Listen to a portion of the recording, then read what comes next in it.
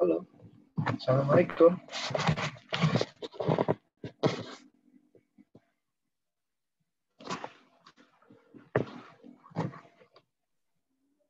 Afternoon, Pak Angga sudah bergabung. Bisa dengar suara saya?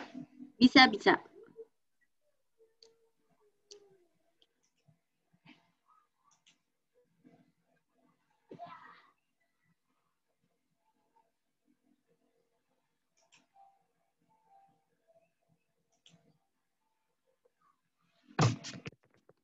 Halo, selamat pagi.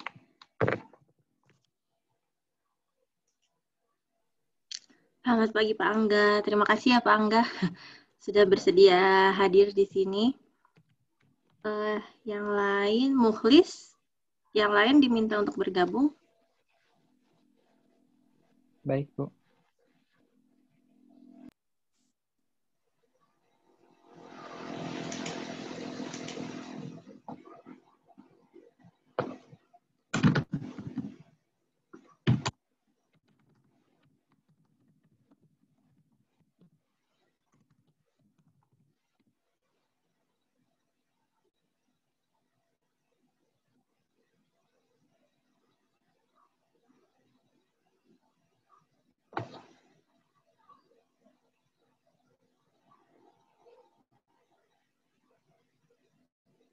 Halo.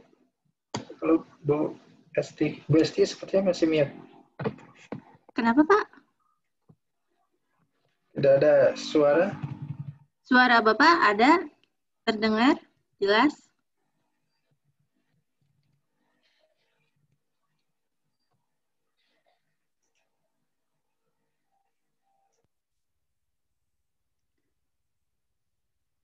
Oh, saya menjadikan Bapak co-host sebentar ya. Saya...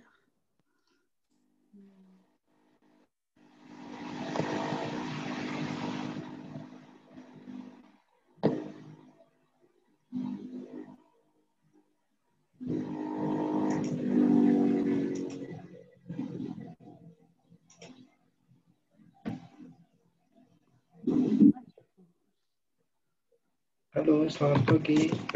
Iya, selamat pagi, Pak. Uh, Gimana, Pak?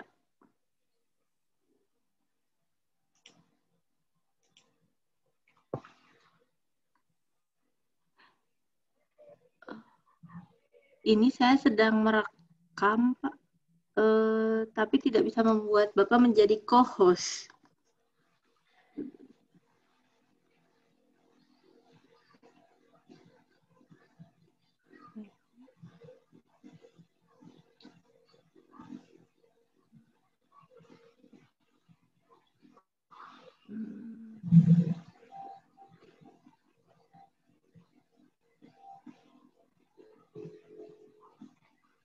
Halo Pak, Assalamualaikum. Iya. Saya udah masuk. Waalaikumsalam.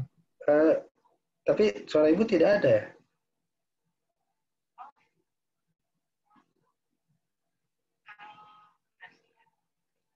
Kalau tadi saya sudah, nah, suara saya terdengar tidak? Oke, tapi suara Ibu enggak, enggak masuk. Iya. Oke, baik.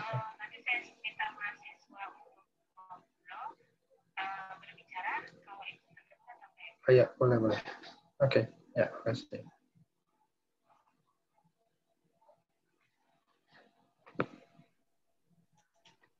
Uh, Muklis atau siapa nih? Dika, Alma? Iya, Bu. Suara saya jelas? Jelas, Bu. Mungkin di mungkin di bapaknya belum apa ya belum di itu teh ada kalau biasanya kalau baru masuk tuh ada call apa gitu jadi harus diklik dulu. Oh. di mikrofonnya bu.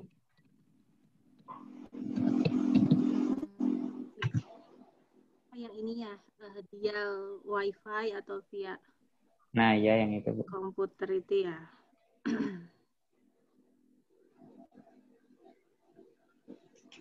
uh, Pak Angga. Halo, halo, halo. Pak. Angga. Pak Angga bisa mendengar suara saya? Halo.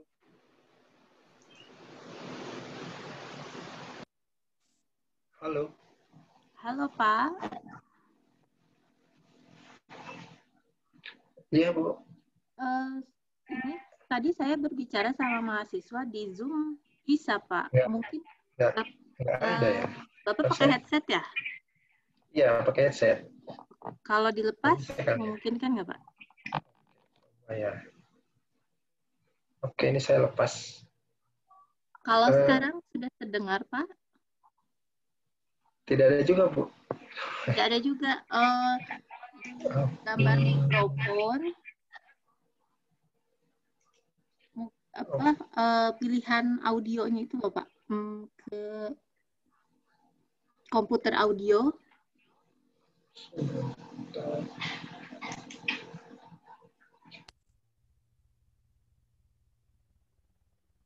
Halo. Oke, sudah ya, Pak? Oke. Eh Muhlis, halo. Ya, Bu.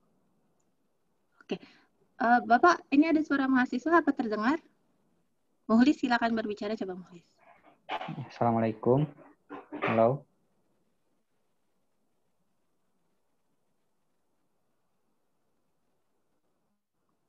Oh, sekarang suara Pak Angganya kurang kurang keras, Pak.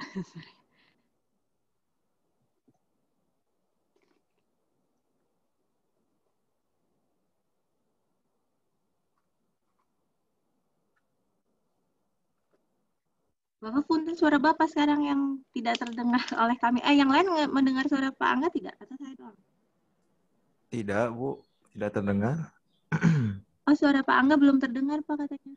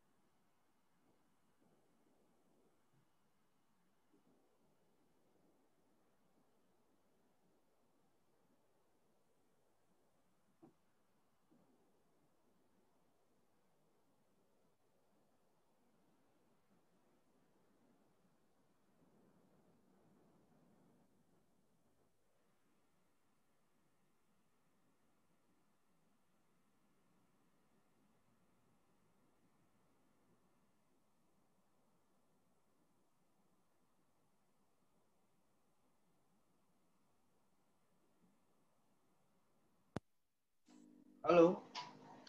Nah, iya. Suaranya sudah terdengar, Pak. Oke, baik. Settingnya sepertinya. Ya, gimana ini? Sudah oke? Eh, Iya, saya sudah bisa mendengar. Eh, Mbak Esi dan teman-teman sudah bisa dengar Iya, Pak. suara. Terdengar, Pak. Terdengar, Pak. Ya, Pak. Terdengar. Baik. Oke. Baik, Eh, ini mohon maaf Pak Angga, ternyata saya tidak bisa menjadikan Pak Angga co-host. Oh begitu. Oke. Kalau mau Pak Angga menjadi host, bisanya langsung. Menjadi host. Oke. Ya, Hmm, sebentar. Boleh, nggak apa-apa. nggak apa ya Pak. Coba aja ya. Ya, nanti jadikan host.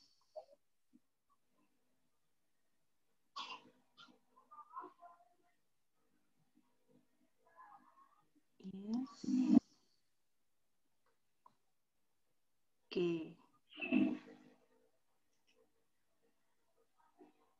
Nah, eh, sebentar ya Pak, saya sedang mentransfer filenya.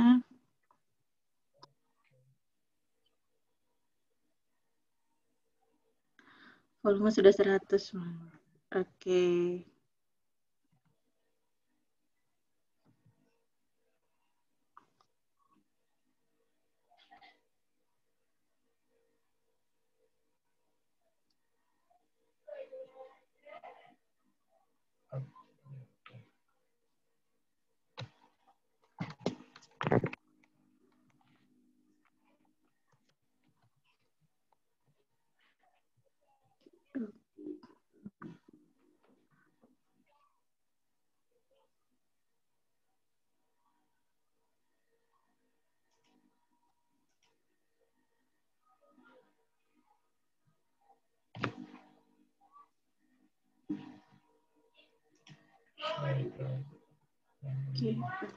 Sudah bisa?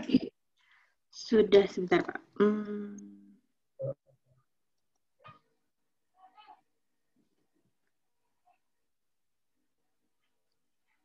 Atau atau dari ibu dulu mungkin mau Iya. membuka atau Iya. Oh, ya. Iya, baik. Baik, eh, semua siswa semua sudah ya. Saya rasa sudah ada berapa ini? 38 ya?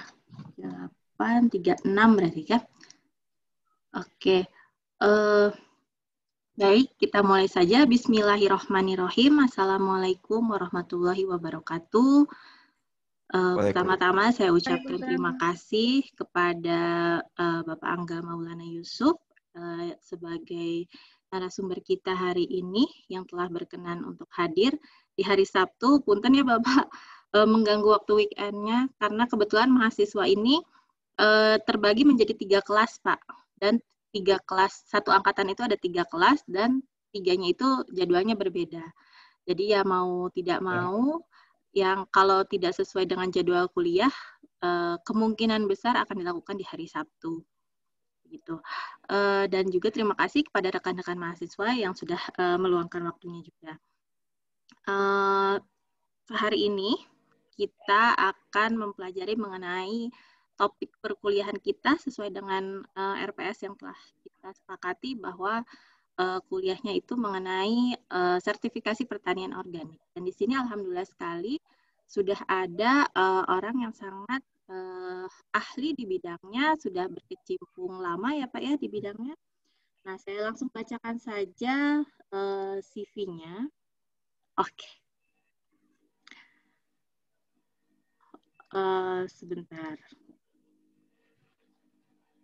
Ternyata kalau nggak host nggak bisa share screen, Pak. Oh gitu. Jadi mau diambil lagi? Oke, nanti saya ini saja ya. eh, saya akan share CV Bapak ke mahasiswa mungkin ya, Pak ya. Via grup perkuliahan kami. Atau saya jadikan host dulu? Oke, boleh. Setelah. Tahu kenapa ini. Oke, ya sudah Biasanya saya. ada yang bisa dijadiin co-host. Oke, terima kasih. Nah, berikut biodatanya. Eh, nama beliau adalah Angga Maulana Yusuf. Eh, beliau merupakan lulusan dari Teknik Pertanian Unpad ya, Pak? Iya betul. Oke, Teknik Pertanian Unpad. Dan di sini kalau kalian melihat eh, apa, working experience-nya, beliau memang sudah eh, berkecimpung langsung, Pak, ketika lulus langsung di dunia eh, pertanian organik, kurang lebih ya Pak ya. Di sini ada eh, saat ini beliau sebagai eh, managing startup company di Indo Catalyst Consulting ya Pak. Iya betul. Oke. Eh, lokasinya di Bogor Pak? Betul di Bogor. Di ya. Bogor. Oke. Kemudian eh, beliau juga sebagai eh, pengevaluasi client performance again Rainforest Alliance. Nah ini tentang apa nih Pak? Oke, jadi eh, Rainforest Alliance itu eh, standar pertanian berkelanjutan. Jadi Oke. mungkin ya- yang beda dengan organik, dia itu masih membolehkan menggunakan pestisida dan pupuk kimia. Hmm, Lalu dan ini juga, untuk tanaman perkebunan ya Pak? eh, Oh, kebanyakan perkebunan. Sebetulnya Kebanyakan. hampir semua tanaman bisa, mm, tapi untuk pengalaman saya sih di lebih banyak di kopi, kakao, teh, juga eh, rempah-rempah ya. oh, rempah-rempah. Oke. Tahu juga. Ya, sangat sangat sangat menarik Pak ini. Harusnya Bapak sering-sering Pak mampir ke kampus kami untuk Ya. Iya. mengajari kami banyak Boleh, hal. boleh. Oke, Boleh, boleh. sebagai IT. sesi. Oke. Dan pada tahun 2016 sampai 2017 beliau eh, merupakan auditor untuk Mill Verification of Musimas Sustainable Sourcing Policy. Nah, eh, ini sangat biodatanya sangat singkat namun ini sangat padat sekali. Ya, semoga ini menjadi satu inspirasi ya buat teman-teman mahasiswa bahwa kalian juga bisa berprofesi di bidang yang seperti ini gitu. Ya. Jadi tidak melulu pekerjaan itu hanya PNS ya Pak ya. Tidak melulu ya. hanya yang kerja di kantoran. Ini sepertinya Bapak banyak eh, keliling mungkin ya Pak ke kebun-kebun. Iya betul lebih banyak di lapangannya. Lebih sebetulnya. banyak di lapangannya. Sebagai okay. auditor. Sebagai auditor ya Pak terutama. Ya, Oke, uh, dan beliau juga sudah memiliki sertifikat sebagai uh, eh, RSPO Endorsed Lead Auditor Course Facilitated by Profores, kemudian Quality Management System, ISO 9001 2008, kemudian Introduction to Food Management System Facilitated by BSI. Ya sangat-sangat luar biasa. Alhamdulillah sekali Pak Angga ini bersedia di tengah keterbatasan kami, Pak Angga masih bersedia untuk uh, di sini untuk sharing ilmu dengan mahasiswa. Kalau begitu tanpa berlama-lama lagi, Pak, uh, saya persilahkan Pak Angga untuk uh, menyampaikan pemaparannya, Pak. Oke. Okay. Saya buat host. Oke, okay, baik. Sudah ya? Oke. Okay. Sudah, Pak.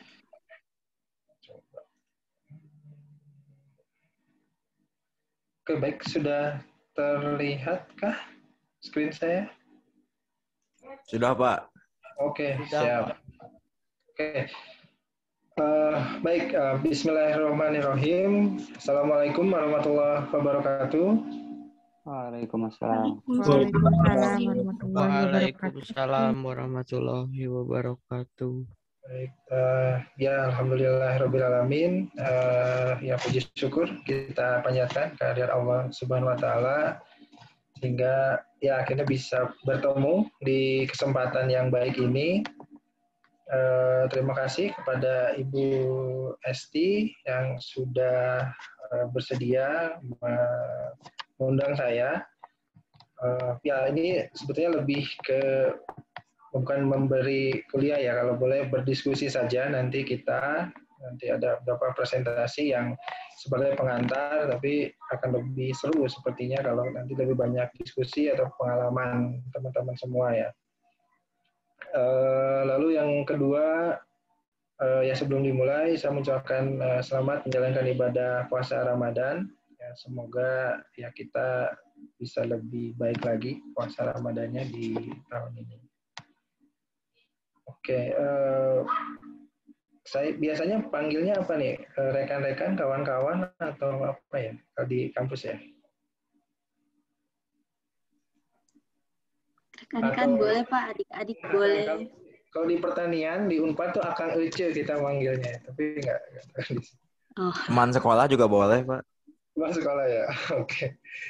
Ya, uh, saya udah ya sudah lama sekali saya meninggalkan kampus ya, lulus 2007. Jangan ditanya kapan masuknya, nanti ketahuan ya betah di kampusnya. Uh, ya jadi uh, tadi menambahkan uh, eh, CV setelah lulus saya sempat bekerja di perusahaan kelapa sawit uh, dari 2007 sampai akhir 2009 Lalu setelah itu 2010 saya pindah ke Bogor dan mulai berkenalan sebetulnya dengan dunia eh, pertanian organik dan sertifikasi organik. Jadi kalau boleh jujur saya sebetulnya tidak seberuntung teman-teman semua yang ada di sini yang ketika di bangku kuliah sudah sudah mengenal ya, tahu apa itu pertanian organik, apa itu sertifikasi organik. Jadi ya semoga kesempatan ini juga bisa menambah eh, wawasan dan ya sehari-hari memang saya tadi disampaikan sebagai uh, auditor, auditor uh, sertifikasi, baik pun organik dan eh, standar-standar uh, yang lain, terutama yang berkaitan dengan uh, pertanian berkelanjutan atau standar lingkungan dan sosial. Oke, baik, saya lanjut.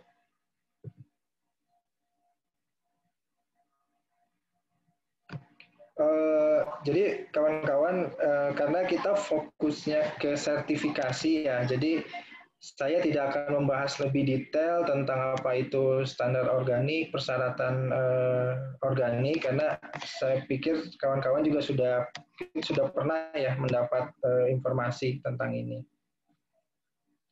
Jadi uh, sebagai pengantar, saya ingin menunjukkan ini uh, statistik uh, pertanian organik saat ini.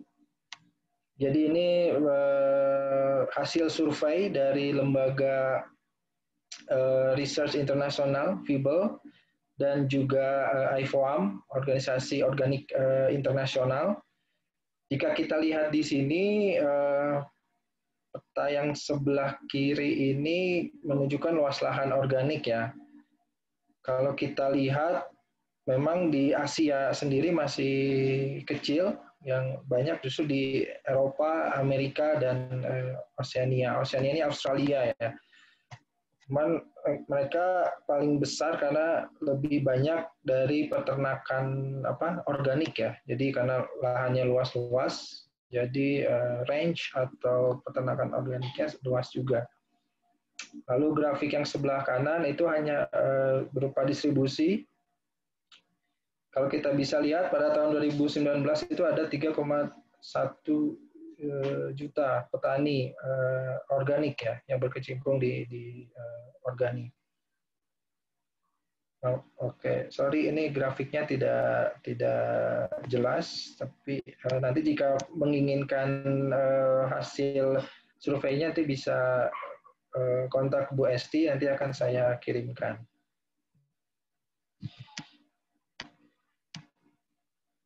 Nah, ini pertanian organik di Asia. Jika kita lihat uh, grafik yang sebelah kiri, paling banyak itu di India. Dan Indonesia uh, memang di urutan keempat ya sepertinya dari luas lahan organik. Ya India sendiri kebetulan saya juga ada pengalaman uh, audit di India itu kurang lebih satu bulan saya pernah di sana melakukan audit. Memang ya memang ya pertama negaranya luas dan yang mendorong pertanian organik mereka itu punya standar nasional bisa dibilang seperti itu yang diakui eh, atau eh, sudah setara atau harmonis dengan standar organik Amerika jadi itu keunggulannya. Ketika mereka disertifikasi oleh standar nasional mereka, mereka juga bisa langsung jual produknya ke Amerika tanpa harus uh, punya sertifikat uh, Amerika. Lalu grafik yang sebelah kanan ini penggunaan lahannya bisa kawan-kawan lihat di di situ. Uh, lalu kalau kita lihat dari jenis komoditi ada kelapa, teh, lalu sayur, kopi dan uh, buah-buahan ya. Yang paling banyak itu kelapa. Seperti itu. Uh, kalau yang pengalaman saya di Filipina itu memang kebun kelapanya luas-luas sekali ya. Bahkan kalau kita bilang petani di sana itu ada yang punya sampai 100 hektar. Itu satu kita bilang petani. Kalau di sini 100 hektar udah jadi apa ya, bukan petani lagi ya. Tapi di Filipina itu luas-luas sekali. Eh, pemilikan lahannya. Nah, ini uh, sedikit gambaran dari pertanian organik Indonesia. Ini sumbernya dari uh, statistik pertanian organik Indonesia yang dibuat oleh NGO di Bogor, Aliansi Organis Indonesia. Mungkin ada kawan-kawan atau Bu Yasi pernah dengar tentang NGO ini. Jadi mereka secara berkala setiap tahun melakukan eh, research eh, tentang eh, pertanian organik. Jadi ini hasil 2019-2020 ini gambarannya. Yang sebelah kiri itu jumlah operator pertanian organik, artinya pelaku pertanian organik yang sudah disertifikasi oleh lembaga sertifikasi. Itu ada angka-angkanya paling tinggi sepertinya di tahun 2015 ya, walaupun di tahun 2019 ada sedikit uh, penurunan. Sedangkan luas lahan organik di 2018 sendiri itu tinggi sekali 251 hektar. Seperti itu. Jadi ini gambaran kondisi pertanian organik di kita. Eh, jika melihat dari luasan lahan, memang semakin tahun Eh, peminat atau yang beralih ke pertanian organik semakin semakin banyak seperti itu.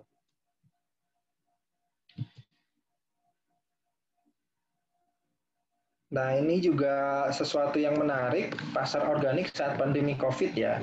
Ini juga di pengantarnya yang saya terima bahwa ini salah satu kenapa apa sertifikasi menjadi menarik karena sejak COVID eh, meningkat nih apa peminatnya atau pembelian dari COVID, apa pembelian dari eh, produk organik.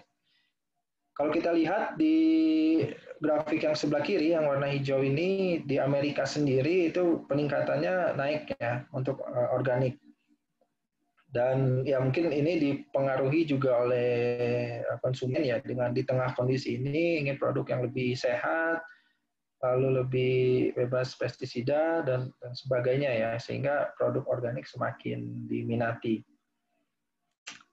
Lalu yang sebelah kanan eh, kita lihat ini pasar organik di dunia terutama di di Eropa dan Amerika. Jadi kalau teman-teman ingin ada niat untuk ekspor produk organik, jadi pasar yang luas itu pasar Amerika dan eh, pasar Eropa ya, seperti itu. Jadi eh, memang dari pengalaman saya eh, pelaku pertanian organik lebih banyak memilih ya tadi untuk sertifikasi organik USA, NOP dan juga Amerika atau EU seperti itu.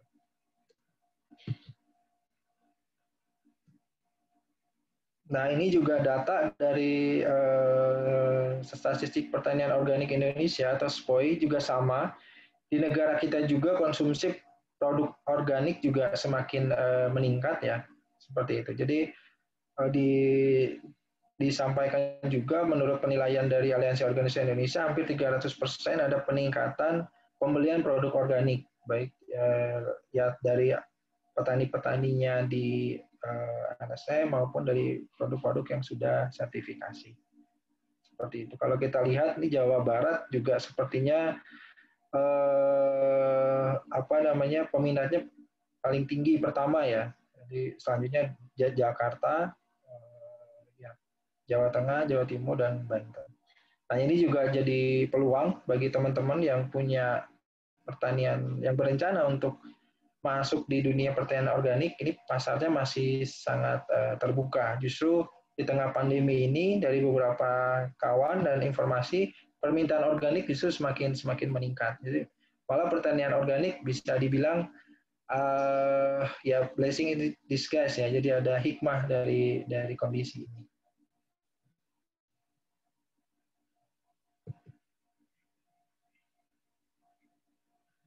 Nah, pertanyaannya adalah perlukah sertifikasi? Nah, ini juga uh, informasi awal dari uh, statistik tersebut menyatakan jika kita lihat, teman-teman lihat, uh,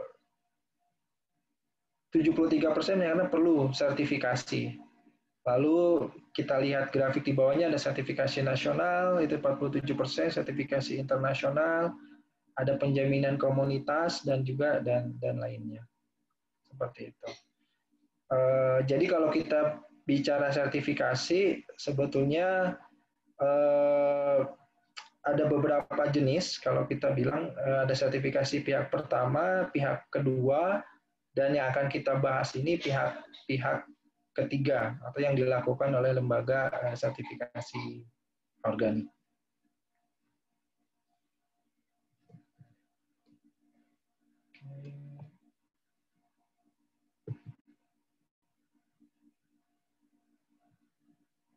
Nah, ketika kita lihat itu sertifikasi itu perlu.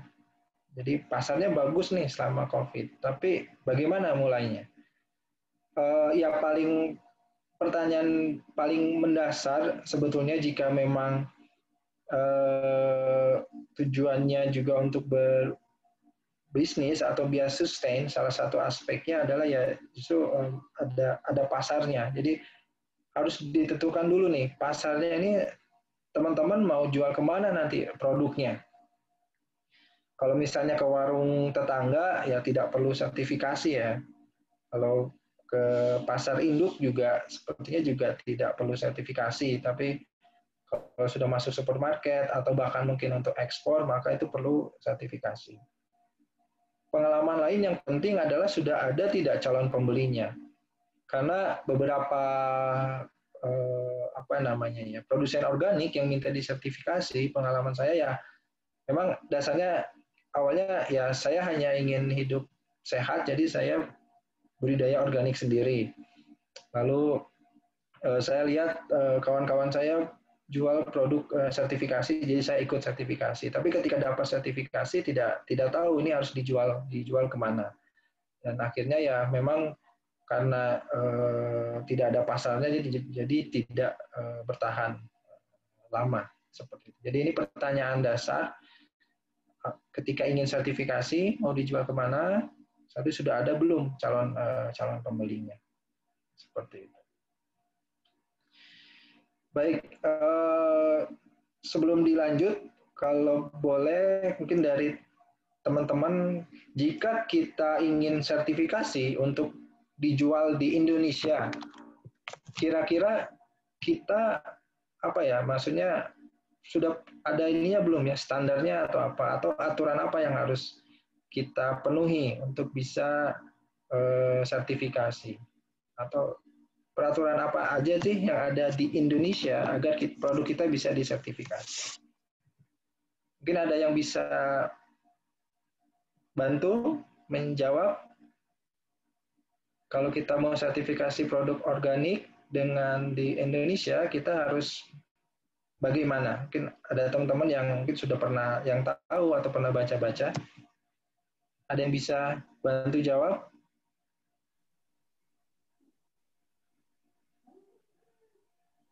Ayo. Silakan Bu Esti.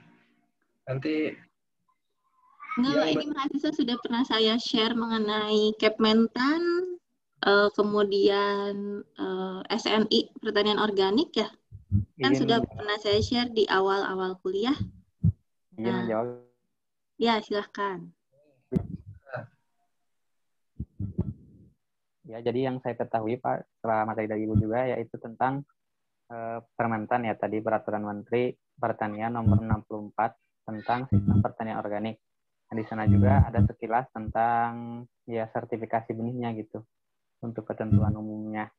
Jadi mulai dibahas dari sistem pertanian organiknya itu adalah sistem produksi yang untuk meningkatkan mengembangkan kesehatan agrosistem.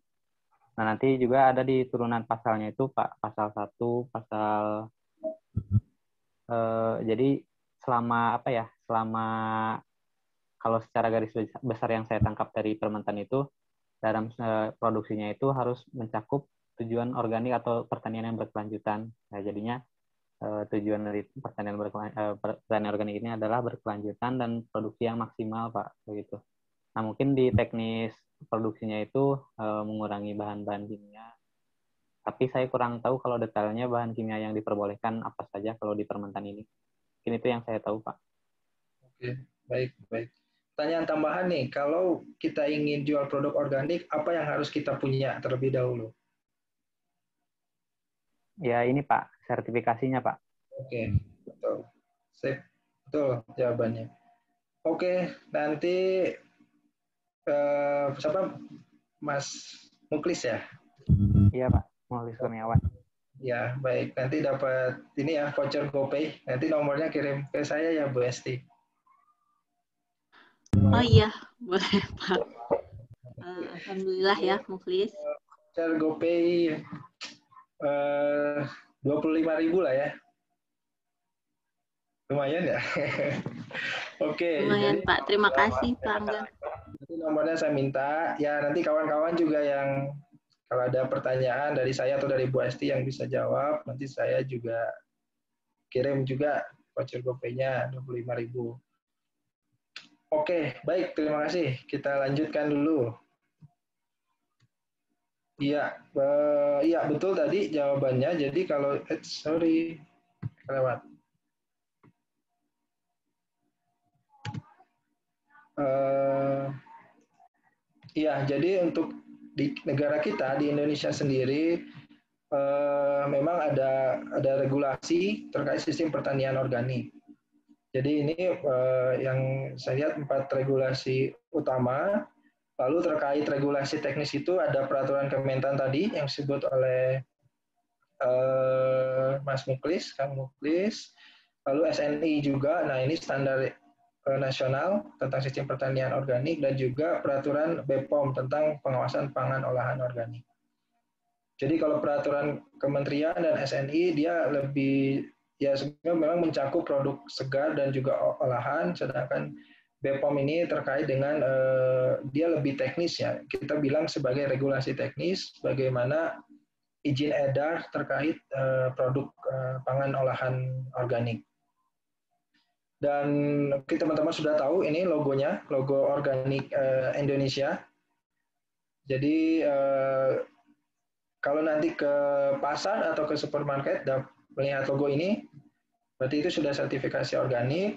Lalu biasanya di bawahnya itu ada kode lembaga sertifikasi eh, organiknya. Jadi eh, teman-teman juga bisa cek ini yang sertifikasinya ini siapa. Lalu, nah ini untuk internasional ini banyak sekali uh, yang bintang-bintang ini dari Eropa, USDA organik, dari India, dari Korea, ini dari uh, China, lalu ini juga Netherlands, ini juga uh, Eropa, lalu juga ini dari Kanada, lalu uh, ini dari Jepang, dan ada juga bioswiss organik. Jadi yang sebelah kiri itu adalah standar pertanian organik yang yang yang yang sudah lebih dulu dikenal ya dan lebih banyak di diminta untuk disertifikasi terutama yang Eropa, Amerika dan e, Jepang yang JAS. Nah, sekarang ada perkembangan yang baru, ada lagi kita bilang standar organik namanya e, Regenerative Organic Certified ini baru setahu saya baru di launching beberapa bulan lalu. Jadi yang agak eh, berbeda dengan standar organik yang sebelah kiri ini, dia juga ada aspek-aspek sosial tentang fairness, tentang bagaimana uh, memperlakukan uh, tenaga kerja, bagaimana pengupahannya, ada pekerjaan atau tidak. Jadi organik dan fair trade bisa dibilang seperti itu. Uh, walaupun di SNI kita juga seingat saya ada satu ada satu pasal saja ya yang terkait tentang uh, aspek sosial juga kesejahteraan pekerja dan sebagainya. Tapi setahu saya pada prakteknya memang ini belum jadi persyaratan sertifikasi. Tapi kalau di regeneratif organic certified, bagaimana kita memperlakukan pekerja kita itu menjadi syarat dari mendapatkan uh, sertifikasi organik. Seperti.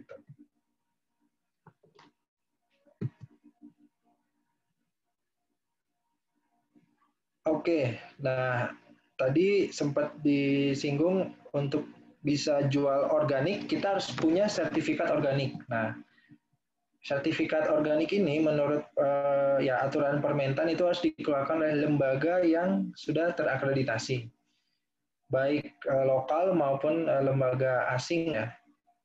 Kalau untuk lokal ya teman-teman ada berapa nih? Ada sembilan ya. Ada delapan. Satu lagi kayaknya belum saya ini ada ada Persada. Saya ingat saya ada Persada satu lagi yang dimiliki oleh Dinas Pertanian Sumatera Barat. Jadi total ada ada sembilan. Uh, ini LSP 001, Sukovindo Mutu 002, Innovis 003, Lesos ini 005 Baeser ini tempat saya dulu pernah bekerja di sini. Itu 006 lalu Sustainable Development System 007 eh, ya. ICER 08 Control Union yang terakhir 009 jadi nanti ketika teman-teman menemukan logo organik Indonesia yang tadi, yang di atas, lalu di bawahnya ada kode LSO 006 misalnya, nah, berarti produk ini disertifikasi oleh Biocert. Seperti itu. Jadi teman-teman ketika ingin tahu ini sebetulnya petaninya dari mana, eh, daerah mana, teman-teman bisa tanya ke eh, lembaga sertifikasinya atau LSO Biocert. Itu linknya ada di situ. Nanti teman-teman bisa eh, lihat lihat sendiri dan nanti kalau berencana sertifikasi bisa langsung menghubungi lembaga sertifikasinya. Kalau untuk lembaga sertifikasi organik internasional itu linknya sudah saya tampilkan di sini. Yang pertama ini kalau lembaga sertifikasi untuk uh, standar Amerika, lalu di bawahnya untuk standar Eropa, lalu yang paling bawah untuk standar Jepang. Nah, uh, untuk lembaga sertifikasi asing atau luar yang yang sudah mensertifikasi uh, petani di Indonesia itu ada EcoCert, ini juga tempat saya uh, bekerja sekarang sebagai freelance auditor. Lalu ada control union, cert juga, lalu ada Ceres, ada ada OneCert. Seperti itu. Jadi ketika nanti mungkin teman-teman lihat ada logo Organik Indonesia dan logo EcoCert. Nah, berarti dia sudah sertifikasi SNI dan juga sudah sertifikasi uh, ekspor. Seperti itu.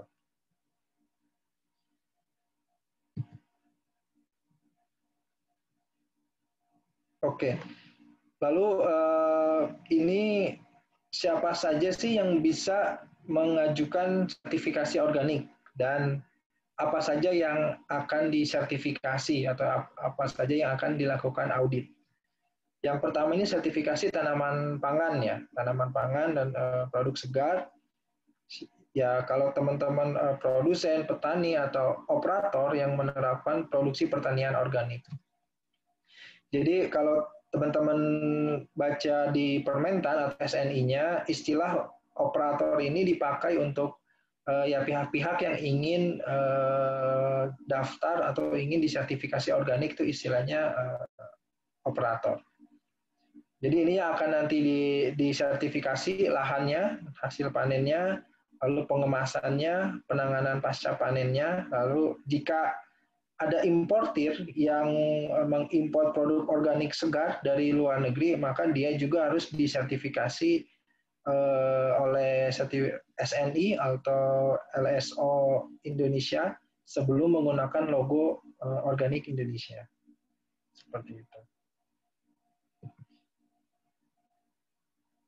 Lalu sertifikasi ternak juga bisa disertifikasi uh, ya tentu saja ini uh, produsen yang menerapkan peternakan organik apa saja yang akan di, dilihat atau di, diperiksa atau dicek lahannya, hasil ternaknya, pengemasannya, lalu bagaimana pengolahan di lahan, lalu termasuk importir yang uh, misalnya mengimpor susu organik dari Australia atau daging organik dari Australia dan dia ingin mencantumkan logo organik Indonesia, maka dia harus juga disertifikasi oleh lembaga sertifikasi yang uh, sembilan tadi yang di atas. Nah ini untuk uh, olahan pangan yang mengolah misalnya menjadi uh, jus jus buah atau misalnya menjadi apa ya produk-produk uh, apa makanan uh, olahan dan sebagainya, ini juga harus disertifikasi. Jadi eh, apabila teman-teman mengolah produk organik dari lahan sendiri, dia bisa disertifikasi atau misalnya membeli bahan bakunya dari dari orang lain. Misalnya teman-teman mau buat apa ya misalnya eh, ya jus organik, eh, tapi teman-teman tidak punya lahan misalnya jus eh, apa di Indonesia jus mangga katakanlah. Tapi teman-teman tidak punya uh, kebun mangga, tapi teman-teman menemukan ada petani atau misalnya uh, perusahaan yang sudah sertifikasi mangga organik. Jadi teman-teman bisa beli mangganya, uh, lalu nanti teman-teman proses sendiri mangga itu jadi uh, jus uh, mangga organik. Nah itu bisa bisa disertifikasi. Hanya pastikan bahan bakunya juga sudah disertifikasi organik. Seperti itu. Atau teman-teman misalnya tadi eh, teman-teman yang jual jus mangga mangga organik ternyata dia menjual dalam bentuk curah.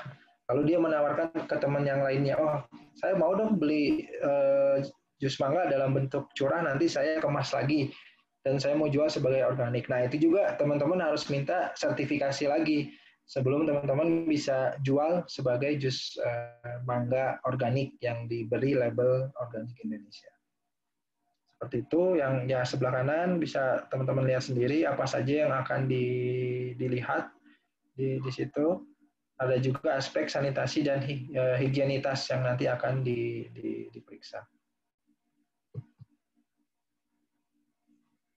Nah, ini sertifikasi kelompok. Nah, ini juga salah satu eh, dari pengalaman saya ini adalah salah satu model sertifikasi yang paling banyak di di Indonesia terutama di negara Asia ya. Karena memang eh, ya lahan petani biasanya eh, kecil-kecil, kalau apalagi petani beras ya kurang dari satu hektar, kadang-kadang eh, seperempat hektar. Dan ini juga bisa di, disertifikasi. Eh, nah, eh, untuk salah satu persyaratan khusus ketika misalnya uh, ya teman atau di fakultas punya desa binaan ada di situ ada beberapa produsen atau petani yang memproduksi sayuran organik dan ingin disertifikasi nih. Tetapi kan kalau masing-masing misalnya ada katakanlah uh, 50 petani kalau masing-masing mengajukan sertifikasi itu biayanya mahal. Jadi bergabung jadi sebuah kelompok kelompok tani lalu nanti menghubungi lembaga sertifikasi, jadi disertifikasinya sebagai satu kelompok.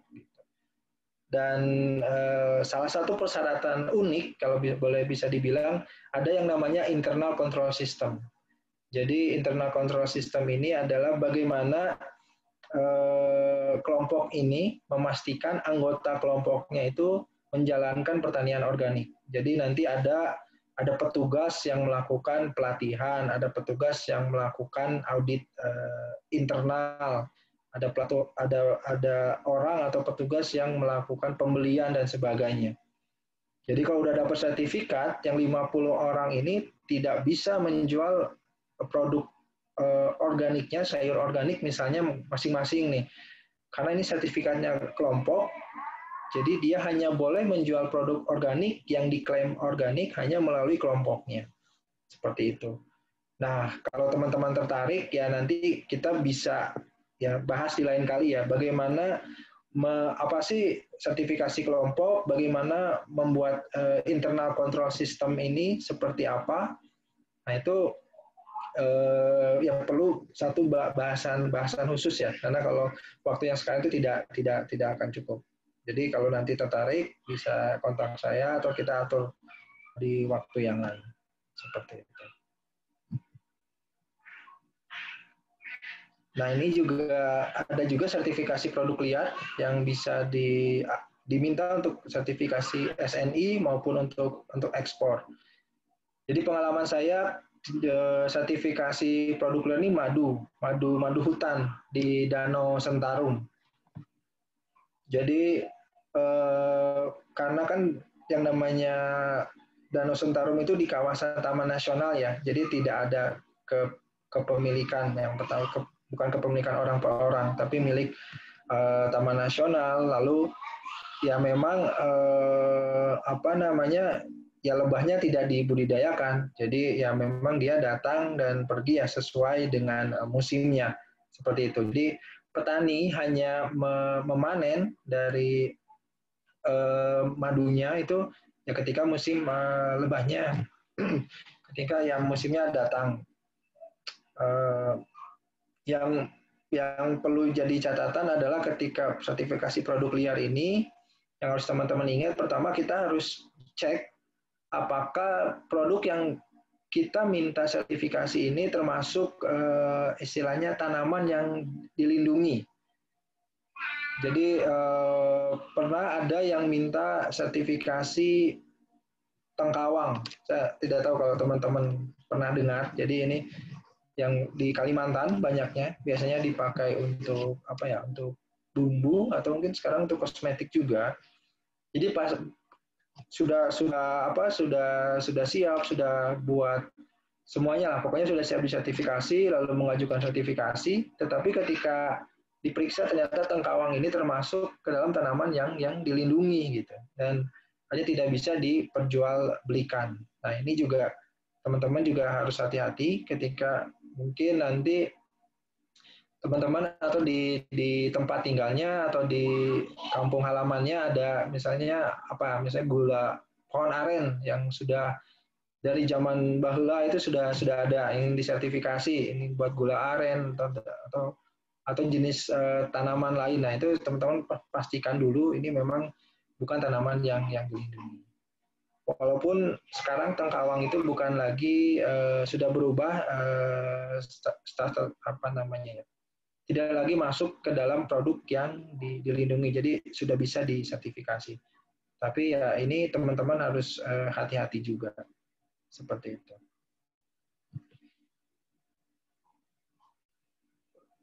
Lalu ini sertifikasi input organik.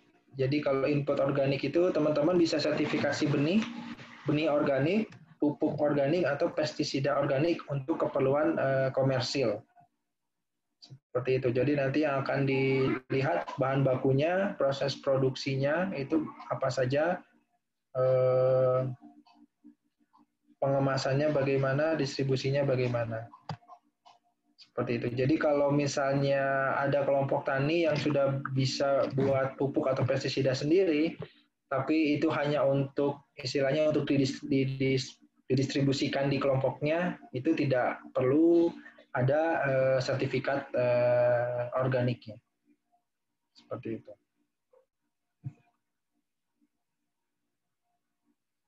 Oke, ini selanjutnya yang bisa disertifikasi ini uh, produk khusus atau jamur dan produk uh, olahannya. Seperti itu. Jadi nanti akan dilihat bahannya apa, lahan produksinya apa, budidaya jamur, produksinya seperti apa, pengemasannya, Lalu eh, pengolahannya seperti apa, termasuk orang yang mengimpor jamur organik dari luar negeri juga harus disertifikasi. Dan ini juga sertifikasi produk madu.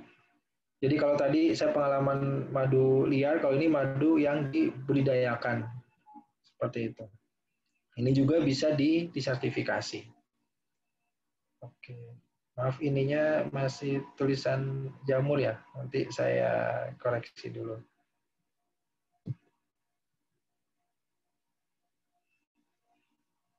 Oke, ini adalah mungkin ini eh, tahapan permohonan dari sertifikasi eh, organik. Jadi kalau teman-teman lihat mulai dari pendaftaran, lalu ada audit kecukupan, jadi ada dokumen review istilahnya, berkas-berkas yang dokumen eh, yang teman-teman kirimkan ke lembaga sertifikasi akan dinilai, mengisi kuesioner, lalu eh, sistem manajemen organiknya dijelaskan di situ, lalu nanti ada ada perjanjian sertifikasi yang berlaku tiga tahun dan ada pembayaran biaya hmm, sertifikasi organik. Seperti itu. Lalu setelah semuanya oke okay, dari sisi administrasi, dari sisi apa? Jadi eh, pengalaman saya ini proses yang penting tadi apakah kita melihat apakah eh, produk yang diajukan itu masuk ke dalam ruang lingkup eh, SNI atau Permentan. Jadi pernah ada pengalaman saya minta eh, apa ya eh, sarang walet sarang walet uh, organik minta diorganikan. Wah ini kita bingung waktu itu ini bagaimana ya? Karena di ini produk produk liar juga tapi uh, apakah ini apa termasuk makanan atau apa? Nah itu kita sampai sempat konsultasi juga dengan pihak kementerian maupun lembaga akreditasi. Akhirnya saat itu untuk uh, pada waktu itu uh, sarang walet belum bisa di uh, sertifikasi organik karena waktu itu ini mau dimasukkan ke dalam yang mana nih produk apa pangan olahan produk liar tuh masih masih bingung. Lalu juga saat itu belum istilahnya belum ada semacam uh, riset atau orang-orang yang ahli di terkait dengan uh, sarang walet organik Nah, ini juga biasanya ketika tidak masuk lingkup sertifikasi ya eh, tidak bisa dilanjutkan proses eh, auditnya. Seperti itu. Oke, lalu ketika ini selesai, kita masuk ke inspeksi lapangan. Jadi ini ada proses gimana uh, yang biasanya saya lakukan. Jadi uh, inspektor atau auditor. Jadi saya akan akan ke lapangan. Uh, ya intinya memastikan uh, bahwa apa yang dilakukan oleh uh, produsen operator itu sesuai dengan standar organik. Jadi yang yang perlu uh, kita ingat kalau bicara sertifikasi organik itu bukan sertifikasi ini ya, dia itu bukan sertifikasi produk, bukan uji produk, tapi lebih ke sertifikasi proses. Jadi kita melihat bagaimana uh, prosesnya. Jadi tidak hanya datang ke lapangan, lalu misalnya mau sertifikasi beras organik, kita hanya ambil berasnya, lalu dibawa ke lab ketika uh, tidak ada residu kimia, sertifikatnya langsung bisa keluar. Itu tidak tidak seperti itu tapi lebih ke uh, sertifikasi proses produksi organik. Jadi mulai dari kebun, mulai dari lahan, mulai dari panen, pasca panen, hingga pengemasan, pelabelan itu semua diperiksa saat uh, inspeksi lapangan.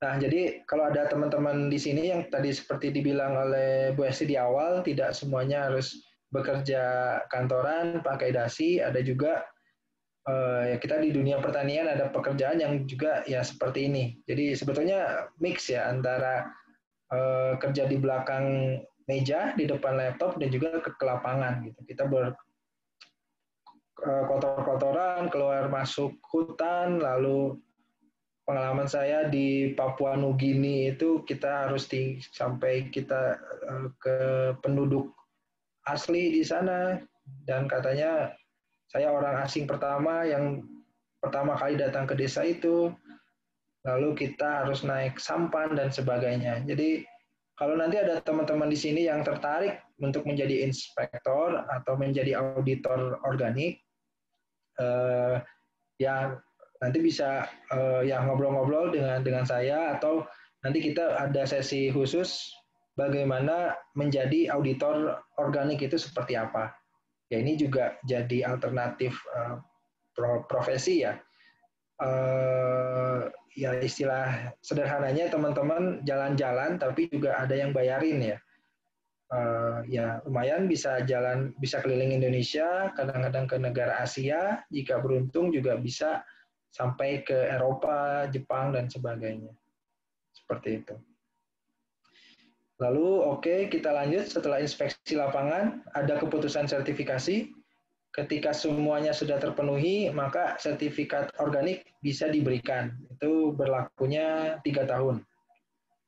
Lalu eh, karena berlakunya tiga tahun dan tiap tahun itu ada, harus ada inspeksi lagi, inspeksi tahunan namanya.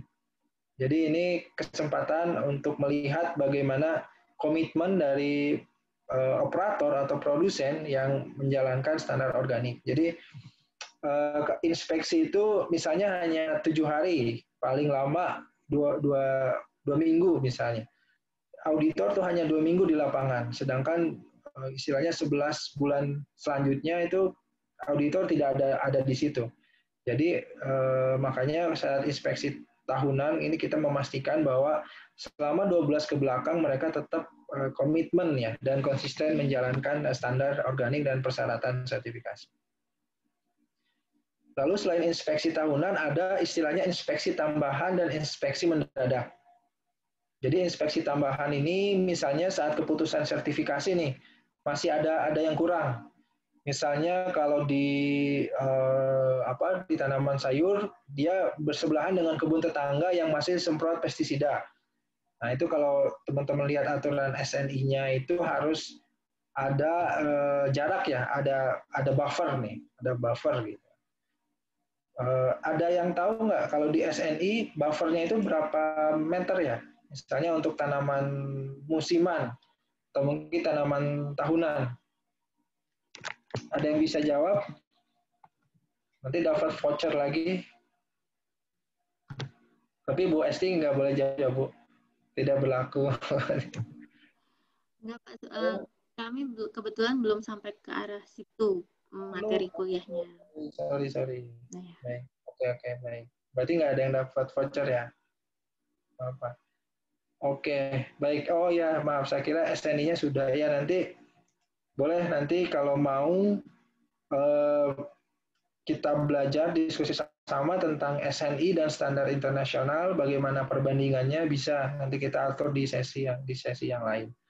Jadi kalau di SNI itu kalau tanaman semusim kira-kira 2 meter jaraknya dari eh, lahan konvensional ke, ke lahan organik. Lalu selain jarak 2 meter itu ada kita harus menanam tanaman yang yang berbeda jenisnya. Jadi kalau kita misalnya menanam padi organik, maka tanaman penyangga itu jangan jangan padi lagi atau apa yang mungkin kira-kira eh, misalnya dia cukup tinggi untuk bisa menahan resiko kontaminasi gitu ya dari dari dari dari apa dari pestisida yang disemprot oleh tetangga. Nah, ketika saat inspeksi lapangan buffernya itu masih kurang, maka sebelum sertifikasi diberikan harus ada lagi kunjungan lagi, namanya inspeksi tambahan. Jadi eh, misalnya eh, petani itu diberi waktu bisa satu bulan atau sampai dua minggu untuk memberikan perbaikan ya, membuat buffer dan sebagainya. Nah itu dicek lagi, ketika semuanya oke, maka sertifikat bisa dikeluarkan. Lalu ada lagi yang namanya inspeksi mendadak.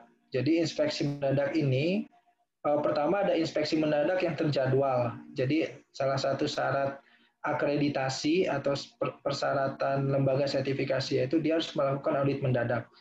Misalnya dia 10% dari jumlah klien, maka itu harus ada inspeksi mendadak.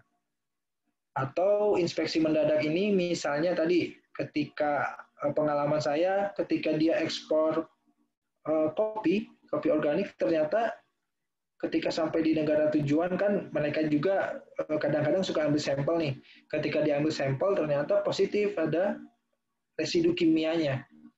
Kalau teman-teman tahu kasus kopi Gayo itu di 2019 kalau tidak salah itu eh, ada terdeteksi eh, glifosat atau herbisida. Nah, ketika kita tahu ada informasi itu maka biasanya lembaga sertifikasi langsung akan mengutus inspektornya atau auditornya untuk langsung kunjungan ke lapangan untuk untuk menelusuri ya kira-kira ini residu kimia ini dari mana nih e, sumbernya. Karena pada saat kita audit kok semuanya baik-baik saja nih. Lahan tetangganya juga sudah ada jaraknya sudah ada tanaman penyangga airnya sudah ada filternya. Nah nanti di inspeksi mendadak ini kita akan turun lagi ke lapangan, lalu kita cek lagi, ini kira-kira dari mana nih sumber uh, residu kimianya. Nah, uh, ini kira-kira siklus dari tahapan uh, permohonan permohonan sertifikasi ya. Jadi kalau nanti teman-teman ingin uh, ya tadi tertarik dengan mensertifikasi produknya, produk keluarganya, tetangganya, kelompok taninya, atau binaannya. Nah, ini kira-kira uh, gambarannya. Untuk waktu prosesnya, uh, kurang lebih bisa uh, 1 sampai 2 bulan dari mulai inspeksi lapangan hingga keputusan sertifikasi di, di, di, di, dibuat seperti itu. Kira-kira waktunya 1 sampai 2 bulan sebelum teman-teman atau uh, operator dapat sertifikat uh, organik. Baik, uh, kita lanjutkan atau ada atau sesi tanya jawabnya nanti saja ya, Besti ya, belakangan saja ya. Iya, sesi tanya jawabnya di terakhir saja. Masih ada waktu untuk pemaparan pas sekitar uh, 12 menit 12 menit lagi. Oke, baik. Terima kasih. Oke, kita lanjut.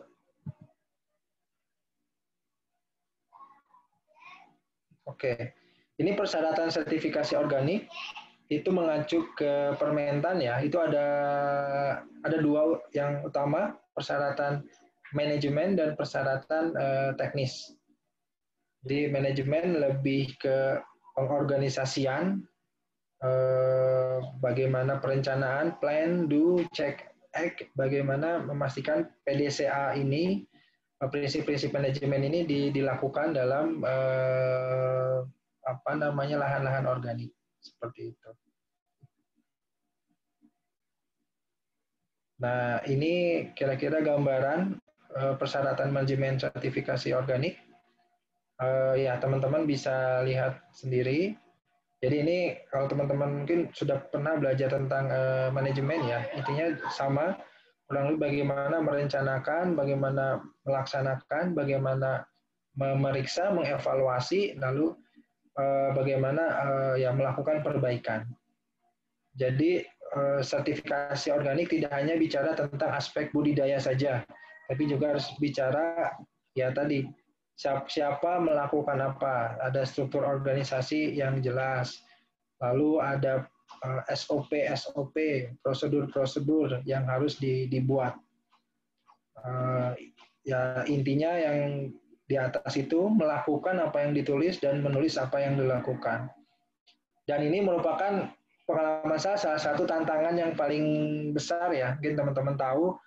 Jadi teman-teman kita petani ini ya kalau kasarnya ya bapak mau suruh saya apa macul hayu pak. Tapi kalau harus nulis wah ini pensil lebih berat dari cangkul gitu kan. Nah ini juga yang jadi uh, tantangan uh, biasanya untuk sertifikasi kelompok ya sertifikasi petani ini yang jadi jadi tantangan. Jadi biasanya untuk mengatasi persoalan persyaratan manajemen petani atau kelompok tani dia bekerja sama dengan perusahaan Misalnya pengalaman saya kalau di kopi itu eksportir kopi yang ada di Medan itu bekerja sama dengan koperasi yang ada di di di Gayo, di Takengon, di Benar Meriah, di Benar Meriah. Jadi yang urusan manajemen, tulis menulis, dokumentasi itu di perusahaan ini karena mereka punya orang ya bisa meng-hire orang untuk melakukan itu, melakukan audit internal dan sebagainya Nah, sedangkan petaninya cukup fokus bagaimana memastikan praktek di lapangan sesuai dengan standar uh, organik.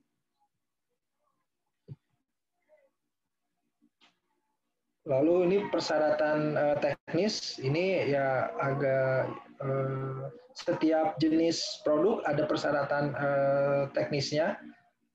Teman-teman nanti bisa dilihat di uh, slide uh, presentasinya. Cuman yang yang eh, penting adalah ya tadi semua eh, baik dari mulai dari lahannya sendiri, bibitnya sendiri, benih tanaman sendiri, pengendalian hama sendiri harus ada dokumentasinya. Lalu juga eh, misalnya ini persyaratan teknis ini kalau boleh saya simpulkan ini bicara tentang uh, good agriculture practices GAP. Kalau di pengolahan bicara uh, good manufacturing practices atau di penyimpanan good handling uh, practices seperti itu.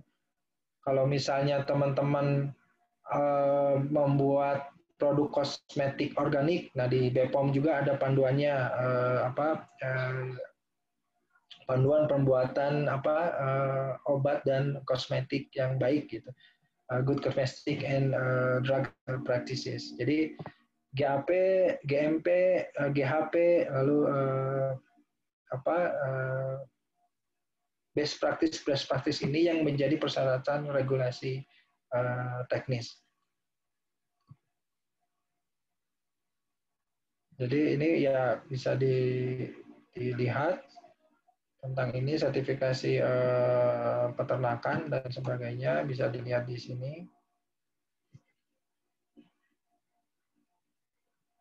Nah ini pengolahan. Oke. Eh,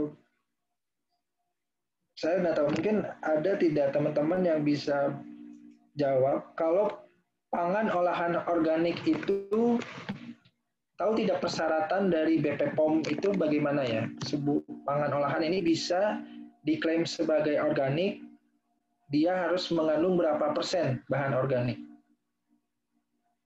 Ada yang tahu?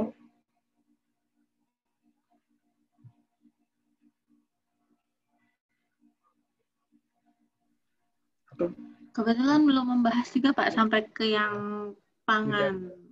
Oke, okay, baik. Atau atau mungkin ada oh, belum ada. Oke, okay, baik. Atau ada yang mau coba jawab? Ini pernah baca atau pernah tahu?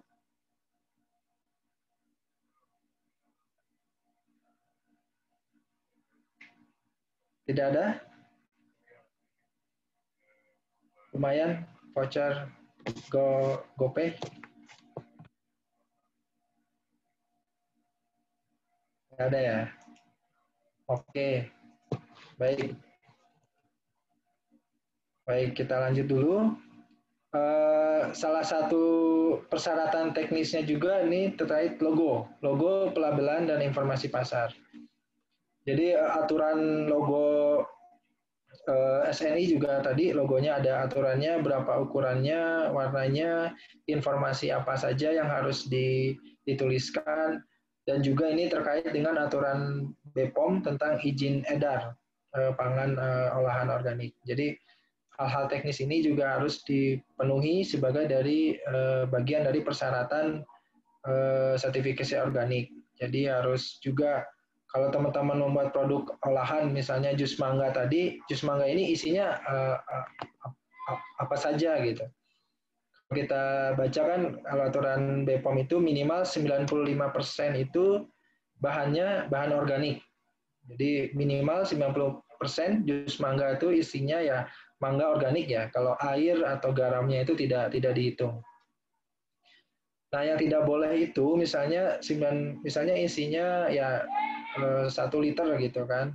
Karena 95 persennya mangga organik, yang 5 persennya itu boleh tidak mangga non organik. Nah, aturan BPOM-nya tidak boleh. Jadi tidak boleh bahan yang sama, ada bahan organik dan non organik di produk-produk yang sama. Seperti itu. Lalu misalnya jus mangga ini ya, teman-teman mencampur ada apa ya mungkin rasa lain. Atau misalnya yang yang sekarang ini teh ya ada jual teh tapi rasa leci. Ya itu misalnya esen esen lecinya ini organik atau tidak. Nah itu akan akan di, diperiksa seperti itu. Ini termasuk salah satu persyaratan teknis sertifikasi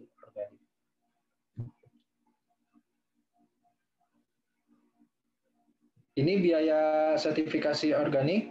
Eh, ini komponen biayanya. Jadi kalau teman-teman sertifikasi lokal dan ekspor, eh, biasanya ada perbedaan biayanya.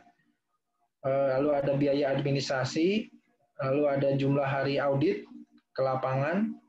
Ini jumlah hari audit ini berdasarkan lokasi, luas lahan, jumlah petani, dan fasilitas pengolahan dan ekspor. Lalu juga ada transportasi dan akomodasi. Jadi sebagai gambaran kalau eh, yang saya tahu biaya sertifikasi itu ada yang ya bisa mulai dari 7 juta, 10 juta, 25 juta hingga kalau mau sekalian ekspor sampai 50 juta untuk biaya sertifikasinya. Itu kurang lebih ya kalau dia kelompok tani eh, apa namanya ya 100 eh, orang kurang lebih eh, biayanya seperti itu. Jadi ya nanti ini juga perlu jadi eh, perhatian teman-teman yang ingin sertifikasi organik.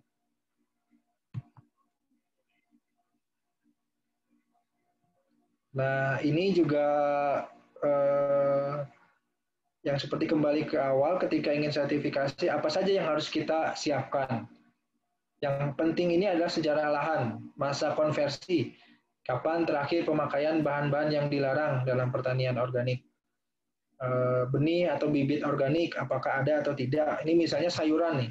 Sayuran ini pengalaman saya paling apa ya, paling rumit, paling sulit karena kebanyakan benih sayuran ini kita tidak bisa membudidayakan semua, kebanyakan impor dan impor biasanya dia akan menggunakan uh, bibit itu ada treatment, treatment uh, pestisida atau uh, insektisida ya, atau juga uh, jagung. Misalnya kalau jagung merah, kalau teman-teman pegang dia akan apa ya ada ada nempel gitu warna merahnya. Nah ini uh, harus hati-hati juga apakah benih atau bibit yang mau kita tanam ini ada tidak uh, bibit organiknya. Gitu.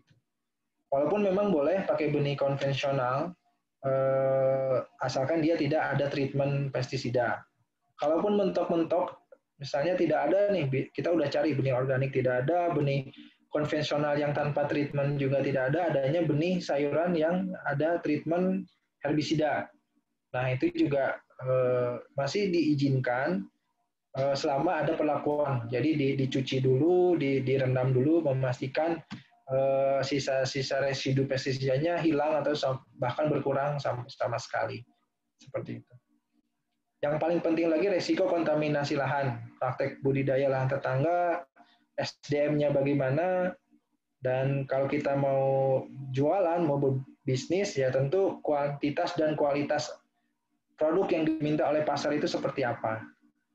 Lalu ya biaya-biaya tadi, pelatihan, pembuatan dokumen, kalau kita harus buat fasilitas produksi, buat apa pack, ruang packing, ruang pencucian dan sebagainya. Harus beli alat-alat untuk uh, vakum misalnya untuk pengempas nah ini harus jadi jadi pertimbangan juga teman-teman. Biaya sertifikasi dan biaya uh, pemasaran. Jadi selain aspek budidaya aspek teknis juga aspek terkait uh, apa ya aspek bisnisnya juga harus jadi perhatian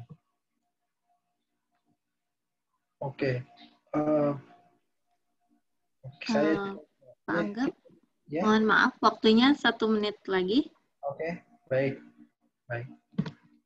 Oke, okay. ini masa konversi ada yang tahu tidak? Kira-kira mungkin pernah baca atau juga belum ya, Bu Esti ya, belum sampai ke teknis ya, SNI ya. Masa konversi ada yang tahu kalau lahan tanaman semusim seperti padi itu berapa lama, kalau untuk kopi berapa lama? Ada yang tahu? Ada yang mau coba jawab?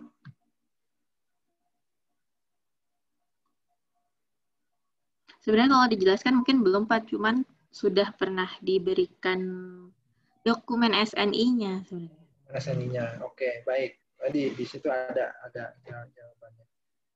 Oke oke.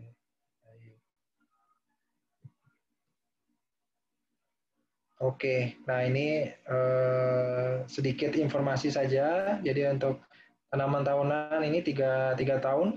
Ini baik semua standar, tanaman semusim itu dua, dua tahun. Seperti itu. Dan bisa diperpendek masa konversi hingga 12 bulan untuk beberapa standar ya. Oke. Nah, ini kurang lebih pengalaman saya dan teman-teman di Indo Catalyst Consulting dalam mempersiapkan sertifikasi organik. Jadi ini pengalaman kita di di Fakfak di Papua Barat untuk mempersiapkan uh, petani pala di sana membuat sertifikasi kelompok uh, untuk tadi penerapan internal control system atau ICS. Jadi kita mulai dari identifikasi dan seleksi petani, lahan, calon lahan, calon petaninya, lalu juga gap analysis, uh, tadi analisa resiko di kebunnya maupun di lahan tetangga, lokasinya, petaninya, itu kita analisa semua kesiapannya, apakah resikonya uh, tinggi, sedang atau rendah, lalu dilanjutkan dengan pelatihan standar organik dan budidaya, lalu pelatihan pembuatan dokumen tadi terkait dengan aspek manajemen, pembuatan struktur organisasi, Lalu terakhir simulasi proses bisnis. Jadi simulasi proses bisnis ini ya tadi mulai dari proses panen, pasca panen, penjualan dan sebagainya. Jadi ketika nanti teman-teman ingin mendampingi petani atau ingin menyiapkan sertifikasi kurang lebih ini tahapannya untuk pengalaman kita eh, waktunya bisa ya 4 sampai 6 bulan ya tergantung kesiapan dari eh, petani di di lapangan. Baik, ini adalah slide uh, terakhir. Oke, baik. Uh, ya, terima kasih atas uh, perhatian teman-teman semua. Uh, ya, silakan uh, untuk sesi selanjutnya saya kembalikan ke Ibu Esti. Ya, terima kasih. Ya, baik. Terima kasih Pak Angga atas uh, penjelasannya. Pak Angga, uh, rekan-rekan mahasiswa apabila ada yang ingin bertanya, saya persilahkan untuk bertanya secara langsung ke Pak Angga. Siapa? Saya, Bu. Nah, kan tadi saya suruh menulis dulu. Saya siapa nih? Oh iya. Supaya tertib, siapa dulu? Muklis dulu aja, Bu. Muklis, silahkan Muklis. Oh iya, Bu. Baik, Nuhun Faisal, saya dulu ya. Bismillahirrahmanirrahim, izin bertanya. Eh, nama saya Muhus Kurniawan. Eh, terkait ini Pak, terkait tadi kan ada tahapan infeksi ya untuk infeksi tahunan, infeksi awal yang di lapangan. Nah terus nanti juga ada misalnya pengecekan jika eh, misalnya barangnya masuk ke suatu negara di misalnya di pelabuhan atau di mana. Nah itu biasanya dicek secara simpel eh, sam- sampel aja atau gimana Pak? Eh, ya tadi. Memang kalau bicara sertifikasi organik dia sertifikasi proses ya. Jadi tidak tidak mesti ambil sampel. Tapi kalau ada kecurigaan misalnya kita bisa ambil sampel produk untuk diuji di, di lab. Eh, kalau misalnya tadi ada ada apa ya perusahaan yang impor produk organik biasanya memang kita tidak tidak cek di pelabuhan ya, kita akan cek di fasilitas si eh, operatornya yang minta sertifikasi organik. Jadi sudah ada di gudangnya, kita akan datang ke gudangnya, kita cek, kita akan tanya-tanya dokumennya nih. Pertama kita akan minta sertifikat eh, organiknya, kita cek masih masih berlaku apa apa tidak. Lalu apakah produknya memang sesuai dengan eh, produk yang disertifikasi. Lalu ada dokumen impornya kita juga akan cek untuk memastikan memang produknya di di apa namanya dijual oleh supplier yang memang uh, sudah organik uh, seperti itu. Jadi memang untuk yang impor ini kita tidak sampai pengalaman saya ya kita belum pernah sampai cek ke pelabuhan saat barang itu uh, datang. Tapi kalau di negara tujuan tujuan ekspor uh, yang namanya produk impor organik itu akan tetap ikuti aturan dari bea cukai ya. Tetap aja ikut walaupun produk organik tidak ada keistimewaan, ada semacam karantina dan sebagainya. Jadi hal-hal teknis seperti itu itu udah di wilayahnya bea dan cukai, karantina pertanian, kita lebih fokusnya di ketika barang itu sudah ada di gudang si uh, uh, produsen atau operator yang minta sertifikasi. Baik Pak, jadi lebih ke di lapangannya ya Pak ya, untuk sertifikasi ini. Ya, kurang lebih itu. Ya. Baik, ada lagi yang mau bertanya? Ada Pak, saya Pak. Siap. Ya, izin memperkenalkan diri Pak. Nama saya Muhammad Faisal Muslim. Saya di sini lebih tertarik ke nama lembaga Bapak ya, Indo Katalis Konsultan gitu. Ka- Katalis itu kan setahu saya gitu ya, eh, tolong dikoreksi kalau salah, eh, percepatan nih kalau nggak salah. Jadi eh, lembaga Bapak tuh melakukan segalanya dengan cepat dan tepat apa gimana Pak?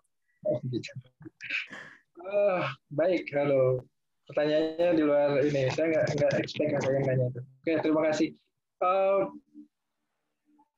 idenya sebenarnya berawal dari pengalaman dan keresahan ya bahwa ketika bicara sertifikasi, contohnya kita ber- berangkat dari situ, kan sulit tuh sertifikasi penyiapan dokumen dan sebagainya. Jadi kita ingin ya tadi di katalis untuk mempercepat eh, prosesnya, membantu menjembatani gitu kan agar terutama di petani-petani kecil yang punya keterbatasan akses kita kita bantu untuk bisa ya tadi lebih mudah lebih apa ya lebih mudah lebih eh, gampang untuk memahami gitu. Misal persyaratan dari dari eh, standar itu itu sendiri. Jadi ya kita ingin mendorong itu agar eh, ya tadi eh, apa namanya pengalaman kita di di Papua itu ya tantangannya luar luar luar biasa ya. Tapi ya alhamdulillah dengan ya tadi prinsip tadi prinsip katalis tadi ingin coba memudahkan. Jadi kita juga belajar dari kearifan-kearifan lokal. Bagaimana eh, petani biasanya sehari-hari bagaimana dia berkomunikasi berbicara. Jadi ketika kita ingin mendokumentasikan tidak harus formal ya. Harus di print harus ada buku-buku biasa bahkan di di kalender dan sebagainya. Yang penting tercatat. Jadi intinya kita pakai pendekatan-pendekatan yang yang mudah, gampang, mudah di- dipahami ya. Dan ya ujung-ujungnya sih terjangkau ya dari dari sisi petani, terutama petani atau eh, produsen dan perusahaan. Kurang lebih begitu. eh, Muslim. Mana? tertarik Iya. dengan Indokatalis? Pengen sih. Makasih ya Pak jawabannya. Oke. Oke, baik. Eh, tadi punten Pak, pas mus- Muslim, eh, pas Faisal saya tidak ada di tempat. Oke, baik. Yang lainnya, apa ada yang ingin eh, bertanya lagi? Atau ada yang masih penasaran tentang sesuatu? Saya Saya Bu, Siapa? Pak. Malia Bu. Amalia. Oke, silakan. Eh, di Silakan, tahap ya, perkenalkan nama saya Amalia Wulandari. Eh, di tahap permohonan itu Amalia, kan ka- ada eh, kameranya bisa dinyalakan?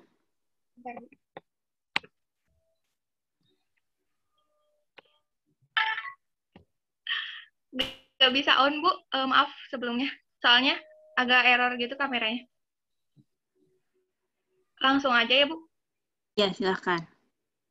Eh, di tahap permohonan itu kan di perjanjian sama eh, berlakunya sertifikat itu kan tiga tahun. Nah itu tuh tiga tahun tuh eh, apakah memang sudah standar atau ada dampak atau gimana gitu? Makasih. Oke, baik, terima kasih. Eh, ya, tiga, tiga tahun itu udah udah sta- standarnya. Saya ingat saya ada di permentannya juga. Perjanjian itu kurang lebih tiga, tiga tahun. Jadi eh, untuk SNI ini tiga, tiga tahun. Kalau semuanya sama. Jadi memang ini kan eh, sebetulnya satu siklus sertifikasi itu tiga tahun. Jadi ada inspeksi pertama, inspeksi tahunan yang pertama, inspeksi tahunan yang kedua, lalu yang tahun keempat itu inspeksi sertifikasi. Jadi kalau di SND itu satu siklus sertifikasi itu tiga, tiga, tiga tahun. Eh, ya harapannya juga ini juga eh, ketika setelah ti- tiga tahun produsen itu memang sudah sudah kuat sistemnya, sudah betul-betul familiar dengan eh, standar eh, SNI seperti itu. Tapi kalau di sertifikasi Eropa, saya tahu saya itu sa- satu tahun. Kalau sertifikasi Amerika malah itu tidak ada masa masa kadaluarsanya. Jadi kalau kalau teman-teman nanti nemu sertifikasi Amerika itu tidak ada batas waktunya, tapi dia wajib tetap wajib disertifikasi setiap eh, setiap tahun. Eh, seperti itu. Baik Pak, terima kasih. Oke, ada lagi yang lain? Saya Bu Siapa? Farhan? Farhan Bu ya. Mangga. Eh, mengenai lama waktu eh, apa namanya sertifikasi tadi disebutkan bahwa eh, kira-kira enam bulan ya tadi tuh.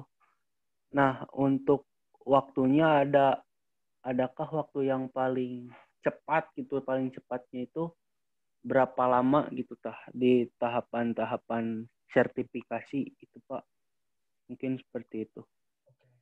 Baik. Hmm, ya, mungkin tadi yang yang enam bulan ini itu lebih ke setup ya, setup persiapan. Jadi eh, biasanya kalau memang kita benar-benar mulai dari awal, karena memang perlu waktu ya, perlu waktu tadi kalau teman-teman lihat di di slide ini, jadi enam bulan itu lebih ke proses menuju eh, daftar sertifikasi. Jadi sebelum kita daftar ke lembaga sertifikasi, kita harus menyiapkan diri dulu selama enam bulan ini. Kalau eh, ya beberapa klien ada yang dia bilang tiga bulan lalu dia baru membentuk lalu cepat melakukan pelatihan dan sebagainya. Memang ya tergantung faktor resiko ya. Kadang-kadang yang tiga bulan karena resikonya rendah dia tidak banyak temuan istilahnya, tidak banyak temuan saat audit. Petaninya atau mungkin pengalaman saya petaninya ini sudah SNI dulu selama sekian tahun lalu dia mau sertifikasi internasional. Sehingga persiapan tiga bulan saja cukup karena dokumen-dokumen yang lain sebenarnya sudah ada tinggal menambahkan eh, yang yang disyaratkan oleh standar internasional. Tapi kalau memang baru sekali ya tadi yang paling yang paling ya maksudnya kalau kita lihat eh, di Kementan juga ada yang namanya panduan eh, sertifikasi organik gitu. Ada buku panduannya. Itu kurang lebih ya memang waktu yang ideal bisa dibilang empat bulan ya, mulai dari awal pemilihan calon petani, calon lahan, eh, pelatihan, memilih orang, audit internal kita atau gap assessment itu empat bulan itu sudah sudah sudah istilahnya bisa dibilang cukup ya, baik dari petaninya juga sudah memahami istilahnya eh, apalagi kalau dari konvensional ke organik itu juga memang agak sulit. Tapi kalau dari dulu memang sudah organik terus dikenalkan sertifikasi organik lebih lebih mudah juga. Itu juga ada ada tantangannya.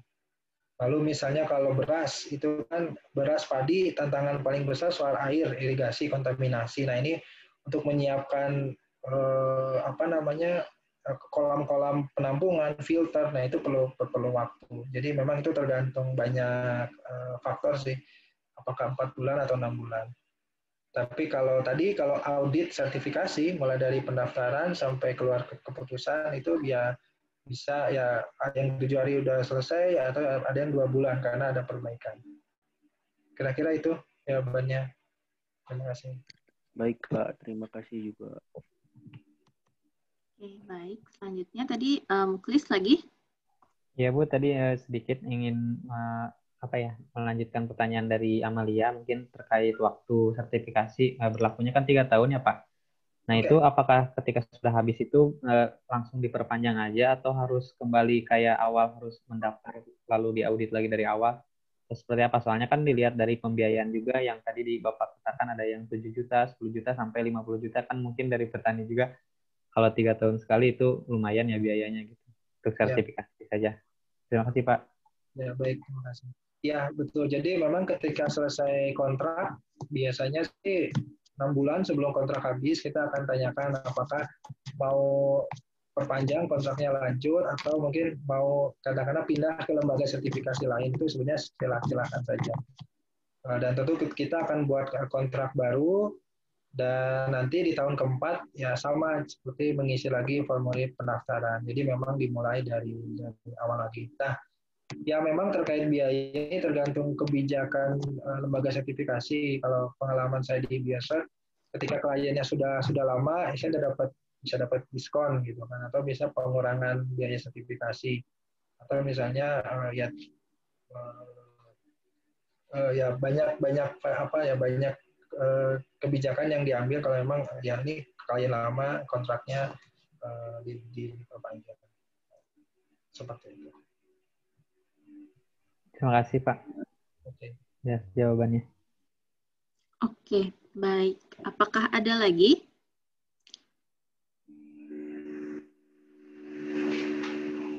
Kalau belum ada, saya juga nih penasaran nih Pak Angga. Kalau boleh saya ingin bertanya juga. Uh, tadi dari pertama yang awal saya cukup terkejut ketika ke di Asia itu ternyata India ya Pak yang lebih uh, yang ya, lebih Pak. apa lebih aware mungkin ya tentang uh, pertanian organik ini. Nah, kira-kira uh, Pak Angga mungkin tahu uh, apa yang menyebabkan India um, apa bisa menjadi yang uh, tertinggi itu. Kemudian um, satu pertanyaan lagi, mengingat biaya yang cukup mahal untuk sertifikasi ini, nah biasanya yang mengajukan sertifikasi organik ini petani yang sudah seperti apa Pak? Atau Gapoktan atau dibantu oleh NGO atau bagaimana? Gitu Pak. Oke, okay, uh, good question. Uh, India sih kalau nggak salah pengalaman saya ke sana memang di pemerintahnya sendiri itu banyak program-program bantuan sertifikasi. Jadi untuk kelompok-kelompok tani itu dapat bantuan sehingga mereka dapat mengakses uh, sertifikasi.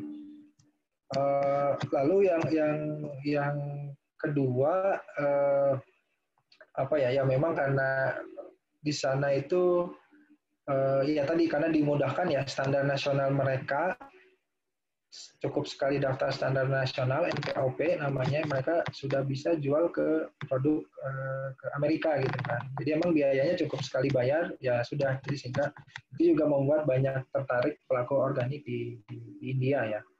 Seperti itu. Kan kalau di kita kalau mau ekspor ya harus bayar SNI harus bayar yang ekspor juga. Jadi ada biaya tambahan. Itu juga salah satu uh, faktor ya kalau menurut saya. Lalu ya memang kalau saya lihat ada ada semacam ya mungkin gini, secara bisnis banyak teman-teman kita India yang memang dia bekerja di perusahaan-perusahaan internasional. Kalau kita lihat kopi ya kalau boleh jujur mulai dari orangnya yang di Indonesia sampai orang yang di luar negeri itu orang India semua. Jadi jejaring-jejaring ini juga yang membuat mereka mudah ya untuk mengakses tadi eh, bekerja sama dengan uh, pembeli dan sebagainya. Sehingga itu salah satu hal kenapa pertanian organik itu banyak di India itu banyak.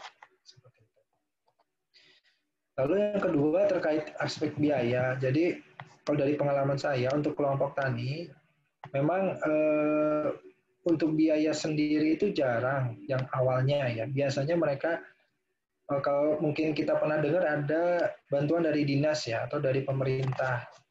Yang kita dengar itu seribu desa program seribu desa organik ya dari Pak Pak Jokowi itu dari sampai 2019 ini ya dari situ. Jadi ada kelompok-kelompok tani yang dapat bantuan dari pemerintah melalui dinas untuk eh, sertifikasi, tapi hanya untuk tahun pertamanya.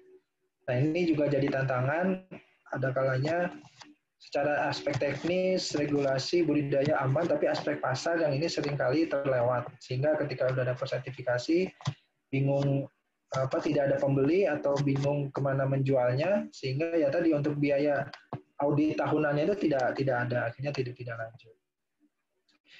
Kalau skema kerjasama yang menurut saya cukup sustain, cukup berkelanjutan itu biasanya kelompok tani dia bekerja sama dengan perusahaan atau uh, eksportir yang ada di Indonesia. Misalnya contohnya di Kulon Progo itu kalau mungkin kita dengar di sana kan produsen gula semut ya, gula semut organik. Jadi di situ ada berapa kelompok tani, hampir 800 sampai 1000 mungkin petani yang dia bekerja sama dengan eksportir di, di Jogja. Jadi yang membiayai sertifikasi itu uh, eksportirnya ini, perusahaannya ini.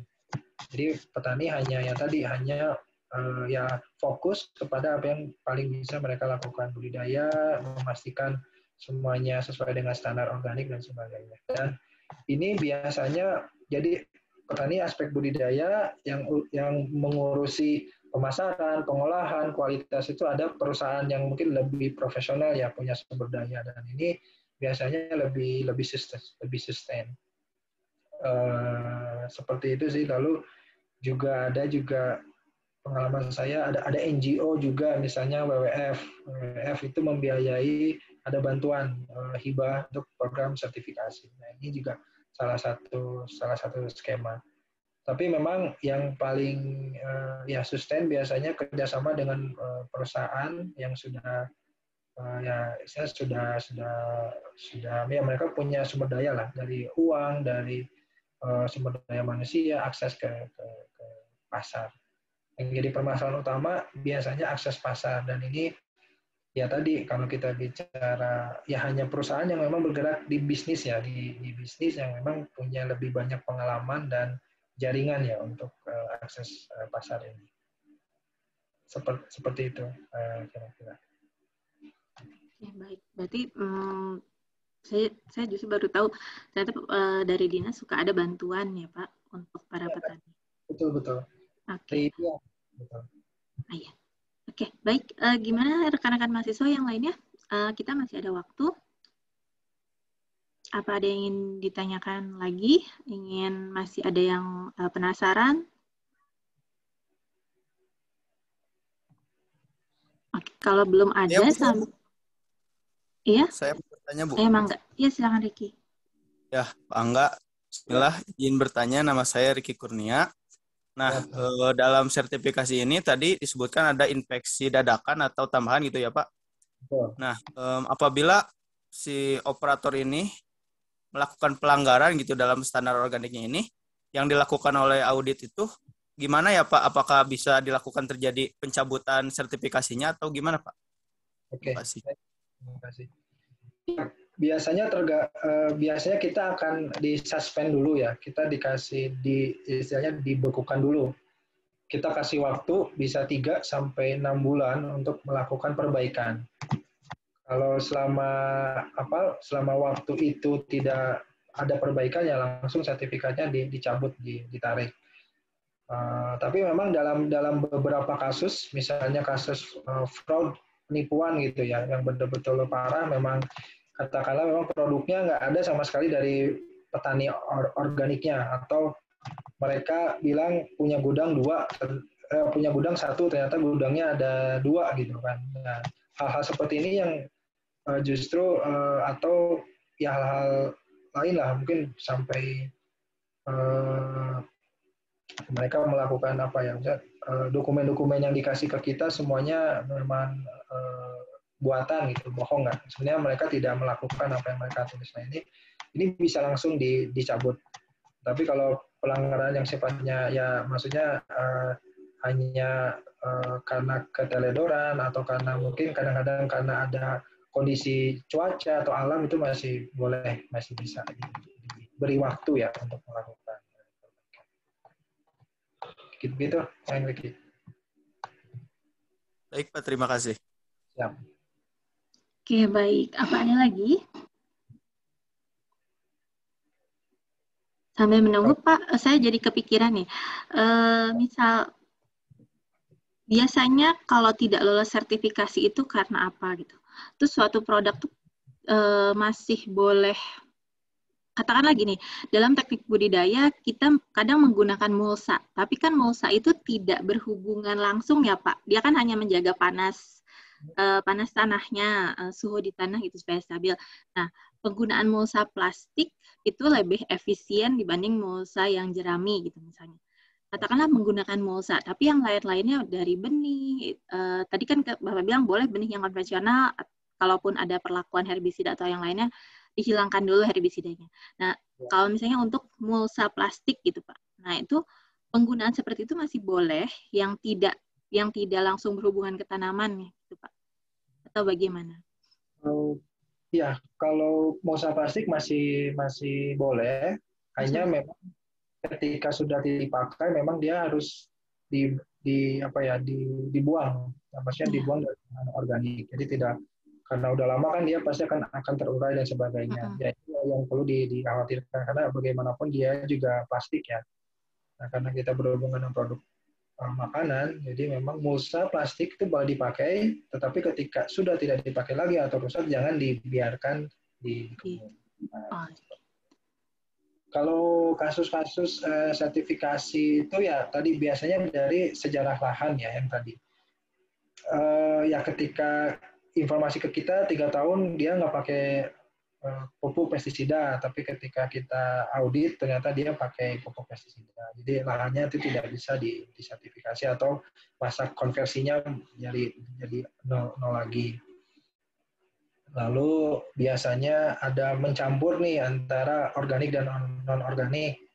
Beras organik yang dari petani anggota kita dicampur dengan beras eh, non organik. Biasanya eh, seperti itu. Yang juga bisa membuat gagal atau sertifikasi terhambat. Nah, seperti itu. Atau ada kalanya dia bilang ingin memproses jus mangga tapi ketika kita datang pabriknya itu belum ada gitu. Jadi peralatannya belum ada ya ya sudah kita juga tidak bisa sertifikasi. Paling uh, tadi inspeksi tambahan misalnya. Ya kalau pabriknya udah jadi nanti kita datang lagi gitu untuk untuk cek. Uh, seperti itu. Atau ya ada dari benih juga dari benih juga ada. Kadang-kadang uh, kalau kita berhubungan dengan petani yang banyak sering kali uh, istilahnya di sertifikasi kelompok itu ada istilah ICS ya internal control system. Jadi orang-orang yang auditor internalnya itu tidak bisa memeriksa semua sehingga kadang-kadang petani sayur ini dia karena benihnya apa apa benihnya terbatas sehingga dia beli benih dari luar dan dia kadang-kadang lupa gitu untuk mencuci dan sebagainya. Ya sehingga produknya nggak bisa disertifikasi ya lahannya juga jadi ter, terkontaminasi. Eh, seperti itu sih biasanya. Lalu dari kalau dari sawah tidak ada filter air itu juga jadi jadi jadi salah satu eh, catatan yang bisa eh, menghambat eh, sertifikasi faktor non teknis lagi biasanya uh, belum melunasi biaya sertifikasi. Nah ini juga banyak kejadian. Jadi oke Pak datang aja kita pasti bayar gitu kan kita kita pasti bayar lah ternyata ketika hasilnya nggak lolos dia nggak mau bayar nah ini juga kenapa lembaga sertifikasi juga biasanya minta uang lunas di awal atau sekian, sekian persen di awal karena sering kali hasilnya nggak lolos kliennya nggak nggak nggak mau bayar nah itu juga hal-hal juga jadi faktor non teknisnya juga seperti itu Oke. Oke. Baik, terima kasih Pak. Uh, satu lagi Pak. Nah, sekarang uh, saya teringat penggunaan mikroba. Sekarang ini kalau di bidang-bidang penelitian pertanian, Pak, kita uh, sudah mulai banyak menggunakan mikroba. Tujuannya itu untuk mendukung pertanian organik. Nah, kalau mikroba, apakah ada mikroba yang dilarang? Uh, kemudian misalnya atau uh, di tahap semua tahap misalnya pestisida boleh pakai biopestisida. Uh, pupuk boleh pakai pupuk organik. Atau ada ada yang uh, dilarang gitu pak untuk penggunaan yang pupuk organiknya? Misalnya nggak boleh dari babi atau nggak boleh dari apa yang kayak gitu. Atau mikroba-mikroba lainnya misalnya nggak boleh pakai uh, PGPR nggak boleh pakai apa kayak gitu pak. Ada untuk mikroba penggunaan mikroba untuk mendukung pertanian organik itu apa? Ada batasannya pak? prinsipnya memang mikroba itu tidak boleh dari hasil eh, GMO ya rekayasa genetik termasuk benih juga.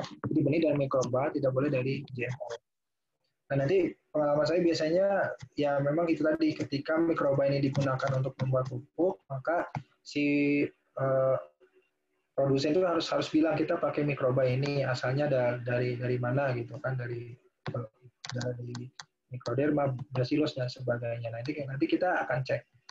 Karena misalnya Bacillus thuringiensis itu ada beberapa spesies varian yang dia hasil uh, rekayasa genetik. Nah, makanya kalau seperti itu itu tidak bisa di, di, digunakan uh, seperti itu. Kalau ya ya PGP nanti harus dilihat juga komposisinya apa, mikrobanya dari mana, apakah dari mol, mikroorganisme apa atau tidak. Untuk pupuk bahan tambahan itu bisa teman-teman lihat di aneks di, di lampiran SNI atau permentan. Itu juga ada eh, bahan apa saja yang boleh untuk pupuk, oleh untuk pestisida nabati, untuk bahan tambahan makanan itu juga bisa bisa dilihat di situ. Ya betul untuk eh, kotoran manusia dan kotoran babi itu tidak boleh dijadikan pupuk di SNI. Seperti itu. Jadi uh, ya pada saat audit atau nanti pada saat teman-teman mau sertifikasi harus dicek nih antara pupuk, bahan tambahan, pestisida yang digunakan itu dengan lampiran di uh, eh, SNI dan di lampiran uh, permentan. Seperti itu. Oke, okay, baik. Terima nah, kasih Pak Angga penjelasan. Mau lebih detail nanti bikin sesi lagi seru. Ah iya, pengennya gitu Pak.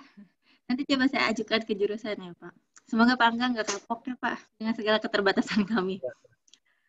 Ya, oke. Okay. Uh, eh, inginnya saya membuka sesi tanya jawab lagi. Bahkan saya ingin bertanya lagi, cuman waktu kita sudah habis. Uh, saya ucapkan terima kasih nih kepada Pak. Mungkin Pak Angga ada uh, satu closing statement mungkin ya Pak dari Pak Angga. Uh, Oke, okay. mungkin ini satu kesempatan nih satu voucher lagi ya. ya saya nggak tahu ingin mungkin ada teman-teman yang menyimak. Satu pertanyaan boleh ya Bu ya?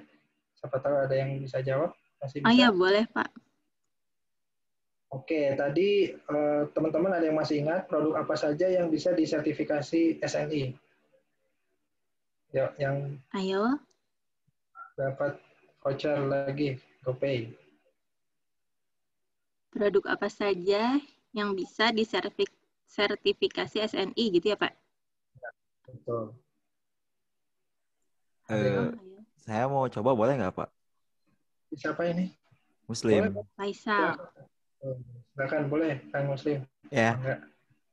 Ini mah saya nggak tahu ya benar apa salah, tapi tadi saya dengar ada bahasan jamur. Ya, itu salah jamur, satunya. Kemudian apalagi? Sebutkan minimal berapa Pak? Tiga. Ya, Bu, saya tahunya satu doang, Bu. Satu aja atuh. banyak loh, ada lima. Tiga ada lima, tiga, minimal ya. tiga lah ya. Aduh. Tiga. Ayo dua lagi. Iya, Hmm. ja- jamur. Terus tuh ada tanaman apa kayak perkebunan kalau nggak salah itu Bapak tuh yang bilangnya kopi, coklat kayak gitu. Itu yang saya tangkap tuh itu tadi. Ya boleh tanaman. Pertanian. Ya tanaman. Pertanian. Lagi, satu lagi. Udah kan tadi udah tiga, Bu. Jamur, kopi, sama coklat. Ya, Gimana, Pak? itu- Itu satu komoditi perkebunan. Ayo. Pertanian dalam arti luas apa? Ya. Satu lagi. oke. Yang tadi saya apa ke Danau Sentarum itu apa? Hmm. Yang Ah. untuk menambah imun apa? Eh, Oh ini Bisa apa herbal, herbal ya? Ya herbal bener gak sih? Herbal ya? Eh, iya herbal kan? Bukan. Yang Nah, Danau nah, Sentarum itu yang nambah imun Tambahkan. tubuh. Eh, Satu lagi ayo, aduh. Satu lagi. Sebut? Pak jangan gitu jadi panik saya ya Pak, jangan gitu. Boleh dikasih clue nggak, Pak? Yang bintang iklannya Agnes Monica. Boleh, boleh. Aduh Bu, Ah. saya udah gak pernah nonton TV berapa tahun. Oh madu. Oke, ya. Boleh. Makasih ya Sip, Pak ada Arhan. yang- Oh, ada yang nentuin. Oke, ya nanti nomornya dikirim ke saya ya, buat Bu Esti atau siapa, nanti saya kirim. Iya, baik, Pak. Berarti tadi Muklis dan eh, Faisal ya, Pak? Aduh, Bapak saya jadi nggak enak nih. Yang dari jurusannya aja kan belum. Udah bagi-bagi. Maaf banget ini, Pak. Iya. Nggak apa-apa, nggak apa-apa. Oke, berarti kan tadi ada tiga orang ya? Yang satu jawab pertanyaan, satu yang cuma dua orang ya? Muklis Baru dua, dua aja, Pak. dua ya? Oke, baik.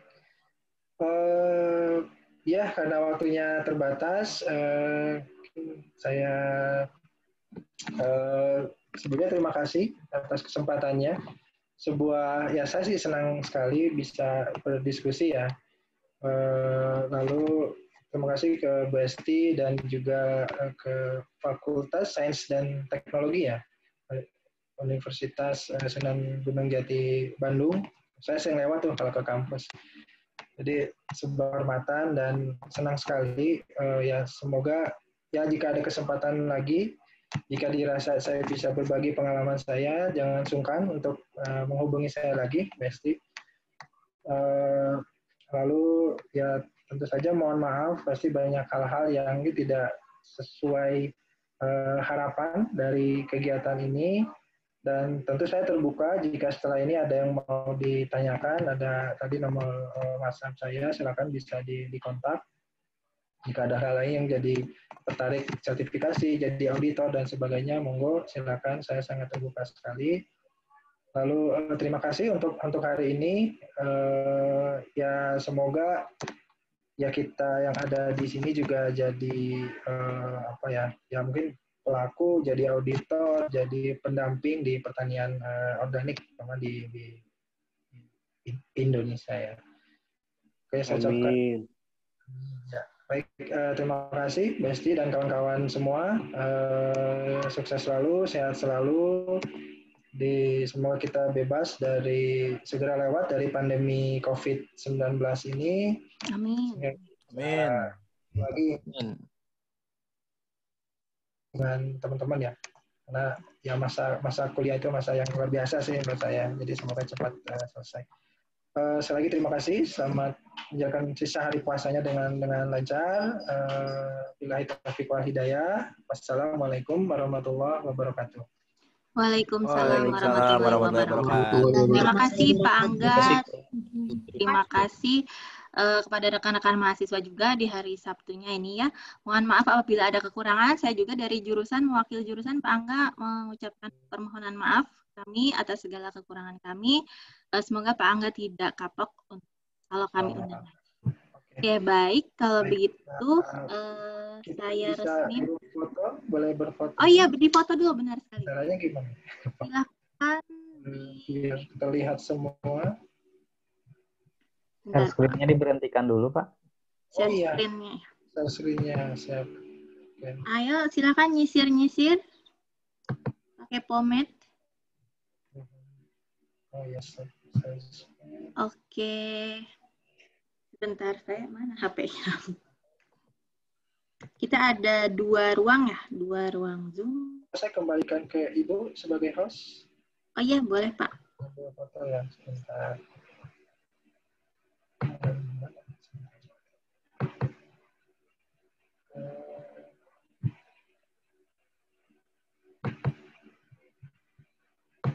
Oke. Oke, baik semuanya. Oke, ruang pertama. Satu, dua, tiga. Sebentar. Oke. Oke, sekarang ruang kedua.